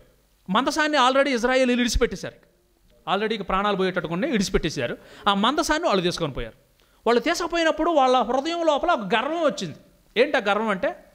యహోవా యహోవా ఇన్ని రోజులు అనుకున్నాం కానీ ఏదో ఒట్టుట్టి మాటలు అనుకుంటా ఈయన కూడా పవర్ తగ్గినట్టు ఉంది అని అనుకున్నారు. తీసుకుపోయి ఎక్కడ పెట్టేశారు? వాళ్ళ దేవత ముందు పెట్టేశారు. దేవత ముందు పెట్టి డోర్లు వేసేసి నెక్స్ట్ డే వచ్చి డోర్ తీశారండి నెక్స్ట్ డే వచ్చి డోర్ తీయగానే మందసం ఆ ఆ దేవత ఉంది కదా దేవత ఒక్కసారిగా బోర్ల పడి ఉంది. ఎవరు పడ్డారు? దేవుడు పడిపోయింది ఇప్పుడు. ఎక్కడ పడ్డాడు? మందసం కాళ్ళ దగ్గర మందసం దగ్గర పడిపోయింది పడిపోయినసరికి వీళ్ళందరూ ఒక్కసారి షాక్ అయ్యారు. అయ్యో అయ్యో అయ్యో మా దేవుడు పడిపోయాడేంటి? ఒరే లేపండి రా వీడు లేచేటట్లు లేడురా అని చెప్పి అందరూ తల ఒక చెయ్యేసేసి లేపారు. ఎందుకంటే వాడు అందరూ లేపితేనే లేస్తాడు. వాడందరూ వాడు లేచే ఓపిక కానీ శక్తి కానీ వాడికి లేదు. అందరు కలిసి లేపి నిలబెట్టారు లేపి నిలబెట్టారు. నెక్స్ట్ డే మళ్ళీ డోర్లు వేసేసారు వీళ్ళు నెక్స్ట్ డే మళ్ళీ పడిపోతే మళ్ళీ లేపుతారు అనుకున్నాడు ఏమో దేవుడు. మొక్కలు మొక్కలుగా కొట్టి కాళ్ళు చేతులు మొండెం మొత్తం ఇరగొట్టి అన్నీ చేసుకొచ్చి అక్కడ పెట్టేశారు అక్కడ పెట్టినప్పుడు వీళ్ళకందరికీ కూడా అమ్మో ఈ దేవుడికి శక్తి ఉంది అన్న సంగతి పిలిస్తీలలో భయం ఏర్పడింది ప్రియమైన వాళ్ళు ఎక్కడ? భయం ఏర్పడింది. భయం ఏర్పడటంతో పాటుగా ఏ పిలిస్తీలైతే దేవుడి శక్తిని తక్కువగా అంచనా వేశారో ఆ పెలిస్తీయులకు దేవుడి శక్తి ఏంటో చూపించాలనుకున్నాడు దేవుడు. దేవుణ్ణి తక్కువగా అంచనా వేశారు కనుక ఇప్పుడు వాళ్ళ మధ్య ఒక వ్యాధి ఒక రోగం అనేది వచ్చిందండి.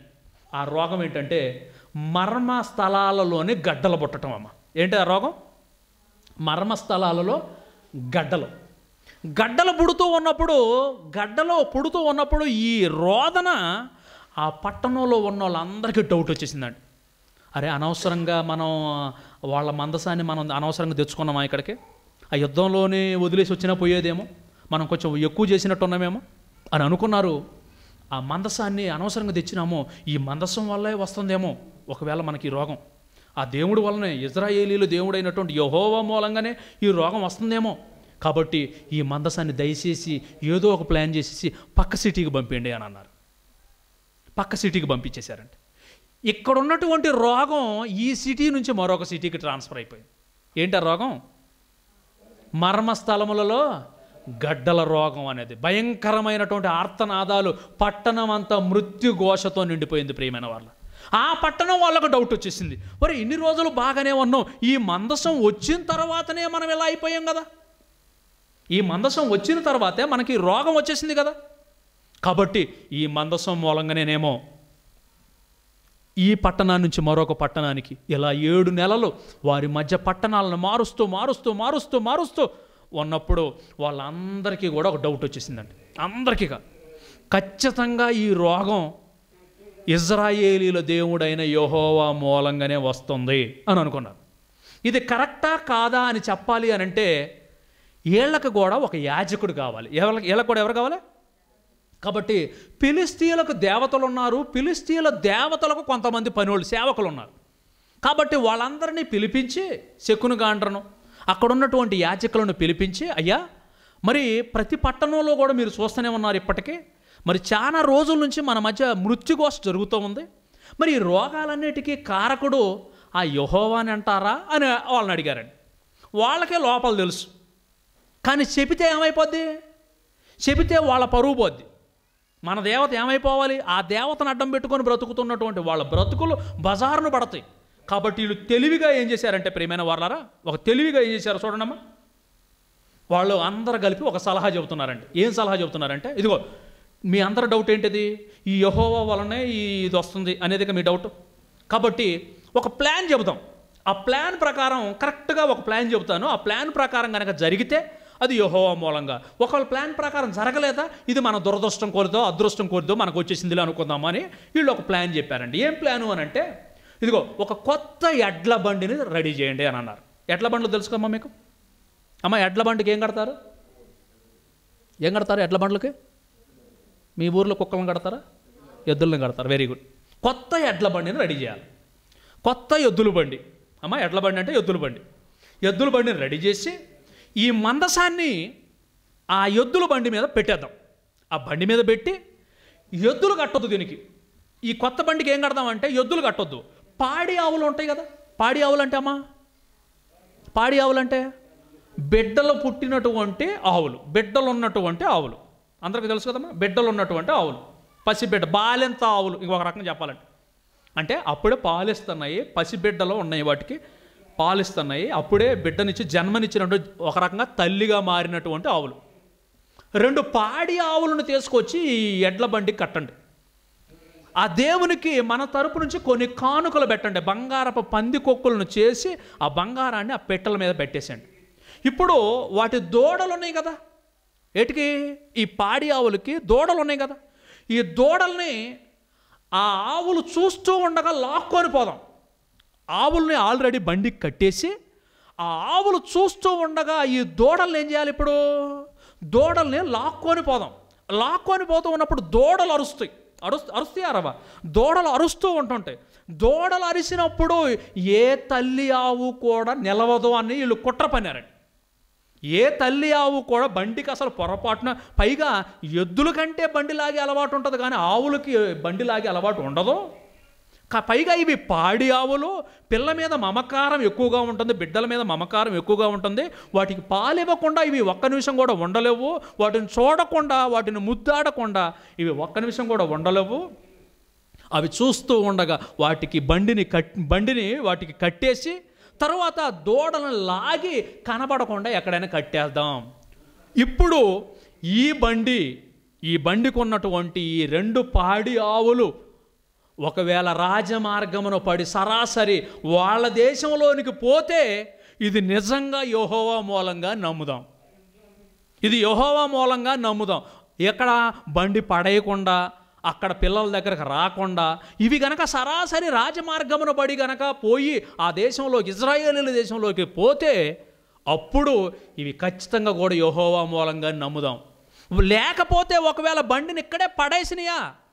ఇది మన దురదృష్టమో అదృష్టమో కాబట్టి దీని గురించి ఎవడు మాట్లాడొద్దు అని అన్నారు. బాగా ఆలోచించండి ప్రియమైన వారు రెండు పాడి ఆవులు ఇప్పుడు వాటికి ఒక అగ్ని పరీక్ష వచ్చేసింది. పాడి ఆవులకు ఒక అగ్ని పరీక్ష ఒకవైపేమో జన్మనిచ్చినటువంటి బిడ్డలు ముక్కు పచ్చలారన్నటువంటి పసి బిడ్డలు అవి అంబా అంబా అని అరుస్తూ ఉంటే మరొక పక్కేమో దేవుడి మాట నెరవేర్చాలి. దేవుడి మాట నెరవేరుద్దామా? మరలా తిరిగి నా బిడ్డలను కలుసుకుంటానో లేదో నా బిడ్డల దగ్గరకు మరలా తిరిగి వస్తానో లేదో ఏదో పక్క బజారు కాదు కదా. నేను దేశం దాటి మరొక దేశానికి వెళ్ళాలి ఇప్పుడు. ఒకవేళ వెళ్ళకుండా నా బిడ్డల మీద మమకారం కోసం తిరిగి వద్దామా? దేవుడు దేవుడి కోసం జరుగుతుంది ఈ వదంతా కూడా. ఈ గడ్డల రోగం అంతా దేవుని మూలంగా జరుగుతుంది. దేవునికి లోబడాలా బిడ్డ మీద మమకారంతో? దేవుణ్ణి ఎదురు తిరగాల? ఏం చేయాలి? ఆలోచన చేయండి ప్రేమైన దేవుని పిల్లల. అవి ఏం చేసాయో చూడండి అమ్మా దేవుడు ఎంత అద్భుతమైనటువంటి మాటలు రాయించారండి ముక్కు పచ్చలారన్నటువంటి పశువులు. పశువులండి పశువులు దేవుని మాట కోసం అవి లోబడ్డాయి ప్రేమైన వాళ్ళ తమ బిడ్డలను విడిచిపెట్టి తమ ప్రాణాలు పోయినా పర్వాలేదు అనుకుంటున్నాయి కానీ దేవుడు మాటకు ఇంతగా లోబడుతున్నాయి అని అంటే మనం ఏమి నేర్చుకుంటున్నామండి? కళ్ళ ముందు ఉన్నటువంటి పక్షులు కళ్ళ ముందు ఉన్నటువంటి జంతువులు మనకెందుకు లోపడుతున్నాయి మనకెందుకు ఆహారంగా మారిపోతున్నాయి? ఎప్పుడైనా ఆలోచిస్తున్నామా చెప్పండి? ఆ రోజు ఆవులు ఎంత ఎంతగా ఏం చేస్తున్నాయి చూడండి ఒకసారి.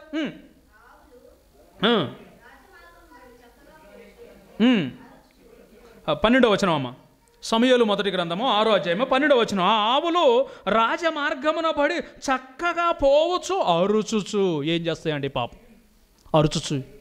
అవి అరుస్తూ అరుస్తూ అంబా అంబా అంబా అనుకుంటూ బిడ్డలకు చెబుతున్నాయండి. అమ్మా దేవుని ఇచ్చినటువంటి ఈ జీవితం మరలా తిరిగి మిమ్మల్ని చూస్తానో లేదో తెలియదు కానీ దేవుడిచ్చినటువంటి ఈ జీవితం దేవుడి కోసం అంకితం అయిపోవాలి. నేను గనక దేవుడికి తిరిగితే దేవుడికి గనక ఎదురు తిరిగితే జన్మ అంతా కూడా వృధా అయిపోతుందమ్మా. మీరు కూడా దేవుడికి లోపడండి దేవుడి కోసం ప్రాణం పెట్టేటటువంటి భాగ్యం నాకు వచ్చేసింది నాకు వచ్చేసింది అని అనుకున్నాయండి ఆవులు. సరాసరిన బండి లాగటం అలవాటు లేకపోయినా ఎక్కడికి వెళ్ళిపోతున్నామో తెలియకపోయినా దేవుడి ఒక్క మాట కోసం రాజమార్గమున బడి అరుచుచు బిడ్డలను విడిచిపెట్టి వెళ్ళిపోయినాయి ప్రేమైన వాళ్ళు బిడ్డలు విడిచిపెట్టి ఎప్పుడైతే ఇజ్రాయేలు దేశంలోకి పోయాయో ఇజ్రాయేలు దేశంలో ఉన్నటువంటి ప్రజలు చూశారండి. చూశారు. అరే ఈ బండి ఏదో మన దగ్గరకు వచ్చేస్తుంది కొత్త బండి. కొత్త బండి మన దగ్గరకు వచ్చేస్తుంది. ఈ బండి పైన మందసం ఉంది. మన దేవుడు మన మధ్యకు తిరిగి వచ్చాడు అన్నటువంటి ఆనందంతో వాళ్ళందరూ ఏం చేశారో చూడండి అమ్మ. ఆ దుర్మార్గులు ఏం చేశారో చూడండి ఒక్కసారి. పద్నాలుగో వచనం. ఆ బండి మెత్సమేసు వాడైన యహోశువా యొక్క పొలములోనికి వచ్చి అక్కడనున్న ఒక పెద్ద రాతి దగ్గర నిలవగా వారు బండి యొక్క కర్రలను చీల్చి ఆవులను యహోవాకు దహన బలిగా అర్పించిరి అండి. మరి బిడ్డల పరిస్థితి? బిడ్డలు అలా అరిసి అరిసి అరిసి అరిసి ఎన్ని రోజులు భూమి మీద అరుచుకుంటూ ఏడ్చుకుంటూ ఉన్నాయో ప్రేమైన వాళ్ళ ఆవులు అక్కడికి వెళ్ళిపోయాయి. ముక్కు పచ్చలారన్నటువంటి ఆ జీవాలు నోరు లేనటువంటి ఆ జీవాలు ఎందుకండి అంత అరుసుకుంటూ వెళ్ళిపోవాలి చెప్పండి. అక్కడికి వెళ్ళిపోయి ఎందుకు అలా ఎందుకు లోపడ్డాయి దేవుని మాటకు? ఎందుకు లోపడ్డాయి ప్రియమైన దేవుని పిల్లలు? అక్కడికి వెళ్ళిపోయాయండి. అక్కడికి వెళ్ళిపోయిన తర్వాత ఆ కనీస జ్ఞానం కూడా లేకుండా ఇవి చూస్తే ఎలా ఉన్నాయి? ఇవి చూస్తే పాలు పాలిచ్చేటటువంటి వీటికి దూడలు ఉన్నాయేమో అని ఎవడో కూడా బండి విడిచిపెట్టి వాటిని ఎలగొట్టలేదండి. వాటిని కాల్చి వాటిని దహన బలిగా చంపేశారండి. నా నిమిత్తమును నా సువార్త నిమిత్తము అన్నదమ్ములనైనను అక్క చెల్లెలనైనను అన్నదమ్ములనైనను భూములనైనను ఎండ్లనైనను పిల్లలనైనను ఎవడైనా విడిచిపెడితే పరలోకంలో మీకు నూరంతల ఫలం వస్తుంది నిత్య జీవం వస్తుందని చెప్పారండి. ఈరోజు ఎవరైనా విడిచిపెడుతున్నామా మనం చెప్పండి ప్రియమైన వాళ్ళ దేవునికి లోబడటం అనేది నేర్చుకోలేదండి ప్రపంచం. ప్రపంచం నేర్చుకోలేదు ప్రేమ అందుకోసం యేసు ప్రభుల వారు జీవులు కళ్ళ ముందు ఉన్నటువంటి జీవులు. ఏమంటే కోళ్ళను మీరు ఎప్పుడైనా చూసారా కోళ్ళ షాప్ దగ్గరకు పోయి చూసారమ్మా బిక్కు బిక్కు బిక్కు బిక్కు అనుకుంటూ చూస్తాయండి అన్నీ కూడా లైన్లో ఉంటుంటే ఒక్కొక్కటి ఒక్కొక్కటి గొంతు కోసి అలా ఇసిరెత్తే టపటప టపటప రెక్కలు ఆడించుకుంటూ ఉంటే ఆ మిగిలినటువంటి శబ్దం విని బిక్కు బిక్కు అంటూ ఉంటాయండి ఏ ఒక్కటి కూడా బాధపడదు. నా జీవితం వీళ్ళకి ఆహారం అవ్వటమే. ఒక మేక గొంతు కోస్తున్నా కూడా కసాయుడి దగ్గరికే వచ్చేసింది సృష్టిలో ఉన్నటువంటి సమస్తము కూడా మన కోసం బలైపోతున్నాయి. పరలోకంలో ఉన్నటువంటి దేవాది దేవుని యొక్క అద్వితీయ కుమారుడు యేసుక్రీస్తు ప్రభువుల వారు కూడా ఒక గొర్రె పిల్ల బొచ్చు కత్తిరించినప్పుడు ఎలాగైతే మౌనిగా ఉంటుందో అలా మన కోసం తన ప్రాణాన్ని మన కోసం కత్తిరించుకున్నాడు ప్రేమైన దేవుని పిల్లలు. ఎందుకు ఆయన అంతగా లోబడాలి? ఎందుకు ఆయన అంతగా మన కోసం ప్రాణత్యాగం చేయాలి మనం కూడా లోబడాలనే కదా ప్రేమైన దేవుని పిల్లలు. కనుక లోబడుతున్నామా? లోబడటం అంటే ఏంటండి అని అంటారా? దేవుని పనిలో మీరు లోపడుతున్నారా అంటే దేవుని వాక్యం వినటం దేవుని వాక్యం చదవటం దేవుని వాక్యాన్ని పాటించటం. నువ్వు పాటిస్తే ఆయనకు లోపడ్డట్టే ఆయన వాక్యాన్ని నీ జీవితంలో పాటిస్తే ఆయనకు లోబడినట్టే. మరి నువ్వు లోబడుతున్నావా? నేను లోబడుతున్నానా? మనం ఒకరికొకరు ఆలోచించుకోవాలి ప్రేమైన వారు. ఆలోచించుకొని దేవుడి కోసం ఒకరికొకరు ఉన్నతంగా బ్రతుకుదాం. దేవుడు ఉన్నటువంటి మహాలోకాన్ని స్వతంత్రించుకుందాం. దేవుడి యొక్క ఖ్యాతిని భూమి మీద మనం అనేకులకు అందజేద్దండి. దేవుడి కోసం ఉన్నతంగా బ్రతుకుదాం. కళ్ళు మూసుకుంటే ప్రార్థన చేసుకుందాం. మమ్మల్ని మిక్కిలిగా ప్రేమించినటువంటి మా గొప్ప తండ్రి ఈ సృష్టిలో ఉన్నటువంటి జీవరాశులు ఎన్నో తండ్రి మీకు లోబడుతున్నాయి తండ్రి. తమ ప్రాణత్యాగం చేసి తండ్రి మా మనోనేత్రాలు వెలిగించడానికి తండ్రి మీరు ఇచ్చినటువంటి గొప్ప సంకల్పంలో తండ్రి మీ బిడ్డలైనటువంటి మేము మా జీవిత పరమార్థాన్ని తెలుసుకునేటటువంటి భాగ్యాన్ని తండ్రి మాకు దయచేయండి. తండ్రి మరి భూమి మీదకు మేము ఎందుకు వచ్చామో తండ్రి ఈ సమస్త సృష్టిలో ఉన్నటువంటి జీవరాశులు మాకెందుకు లోపడుతున్నాయో తండ్రి? మీరు రాయించిన విధానం కొరకు తండ్రి మీ కృతజ్ఞతలు. తండ్రి మాకింత ఆధిక్యతనిచ్చినటువంటి మీకు లోబడేటటువంటి మంచి మనసును తండ్రి మీ బిడ్డలైనటువంటి మాకు దయచేయండి తండ్రి. మా జీవితకాలంలో తండ్రి ఎన్ని కష్టాలు వచ్చినా ఎన్ని నష్టాలు వచ్చినా ఎన్ని ఇరుకులు వచ్చినా ఎన్ని ఇబ్బందులు వచ్చినా తండ్రి మీకోసం నిలవబడేటటువంటి భాగ్యాన్ని తండ్రి దయచేయండి తండ్రి. తలవంచినటువంటి బిడ్డలను దీవించండి. తండ్రి వారి కుటుంబాలను తండ్రి జ్ఞాపకం చేసుకోండి తండ్రి. మీకోసం ముప్పదంతలుగా అరవదంతలుగా నూరంతలుగా ఫలించేటటువంటి భాగ్యాన్ని తండ్రి ఆ కుటుంబాలపైన ఆధ్యాత్మిక మేలులను తండ్రి నింపమని తండ్రి కోరుకుంటున్నాం తండ్రి. సంఘాన్ని దీవించండి సంఘ కాపరణ తండ్రి దీవించండి. మీ దయ ఉంటే మీ కృప ఉంటే తండ్రి మీ కుమారుడు రాకడ ఆలస్యం అయితే. మేము మరొకసారి కూడా తండ్రి కలుసుకొని మీ సంగతులు ఎన్నో తండ్రి మేము నేర్చుకునేటటువంటి భాగ్యాన్ని దయచేయం. మీరు విత్తినటువంటి మాటల తండ్రి మా జీవితాల్లో ఫలించలాగిన తండ్రి ఆశీర్వదించమని. యేసుక్రీస్తు ప్రభులు వారి అతి పరిశుద్ధమైన నామముని ప్రార్థన అడిగి వేడుకుంటున్నామా కన్న తండ్రి. ఆమె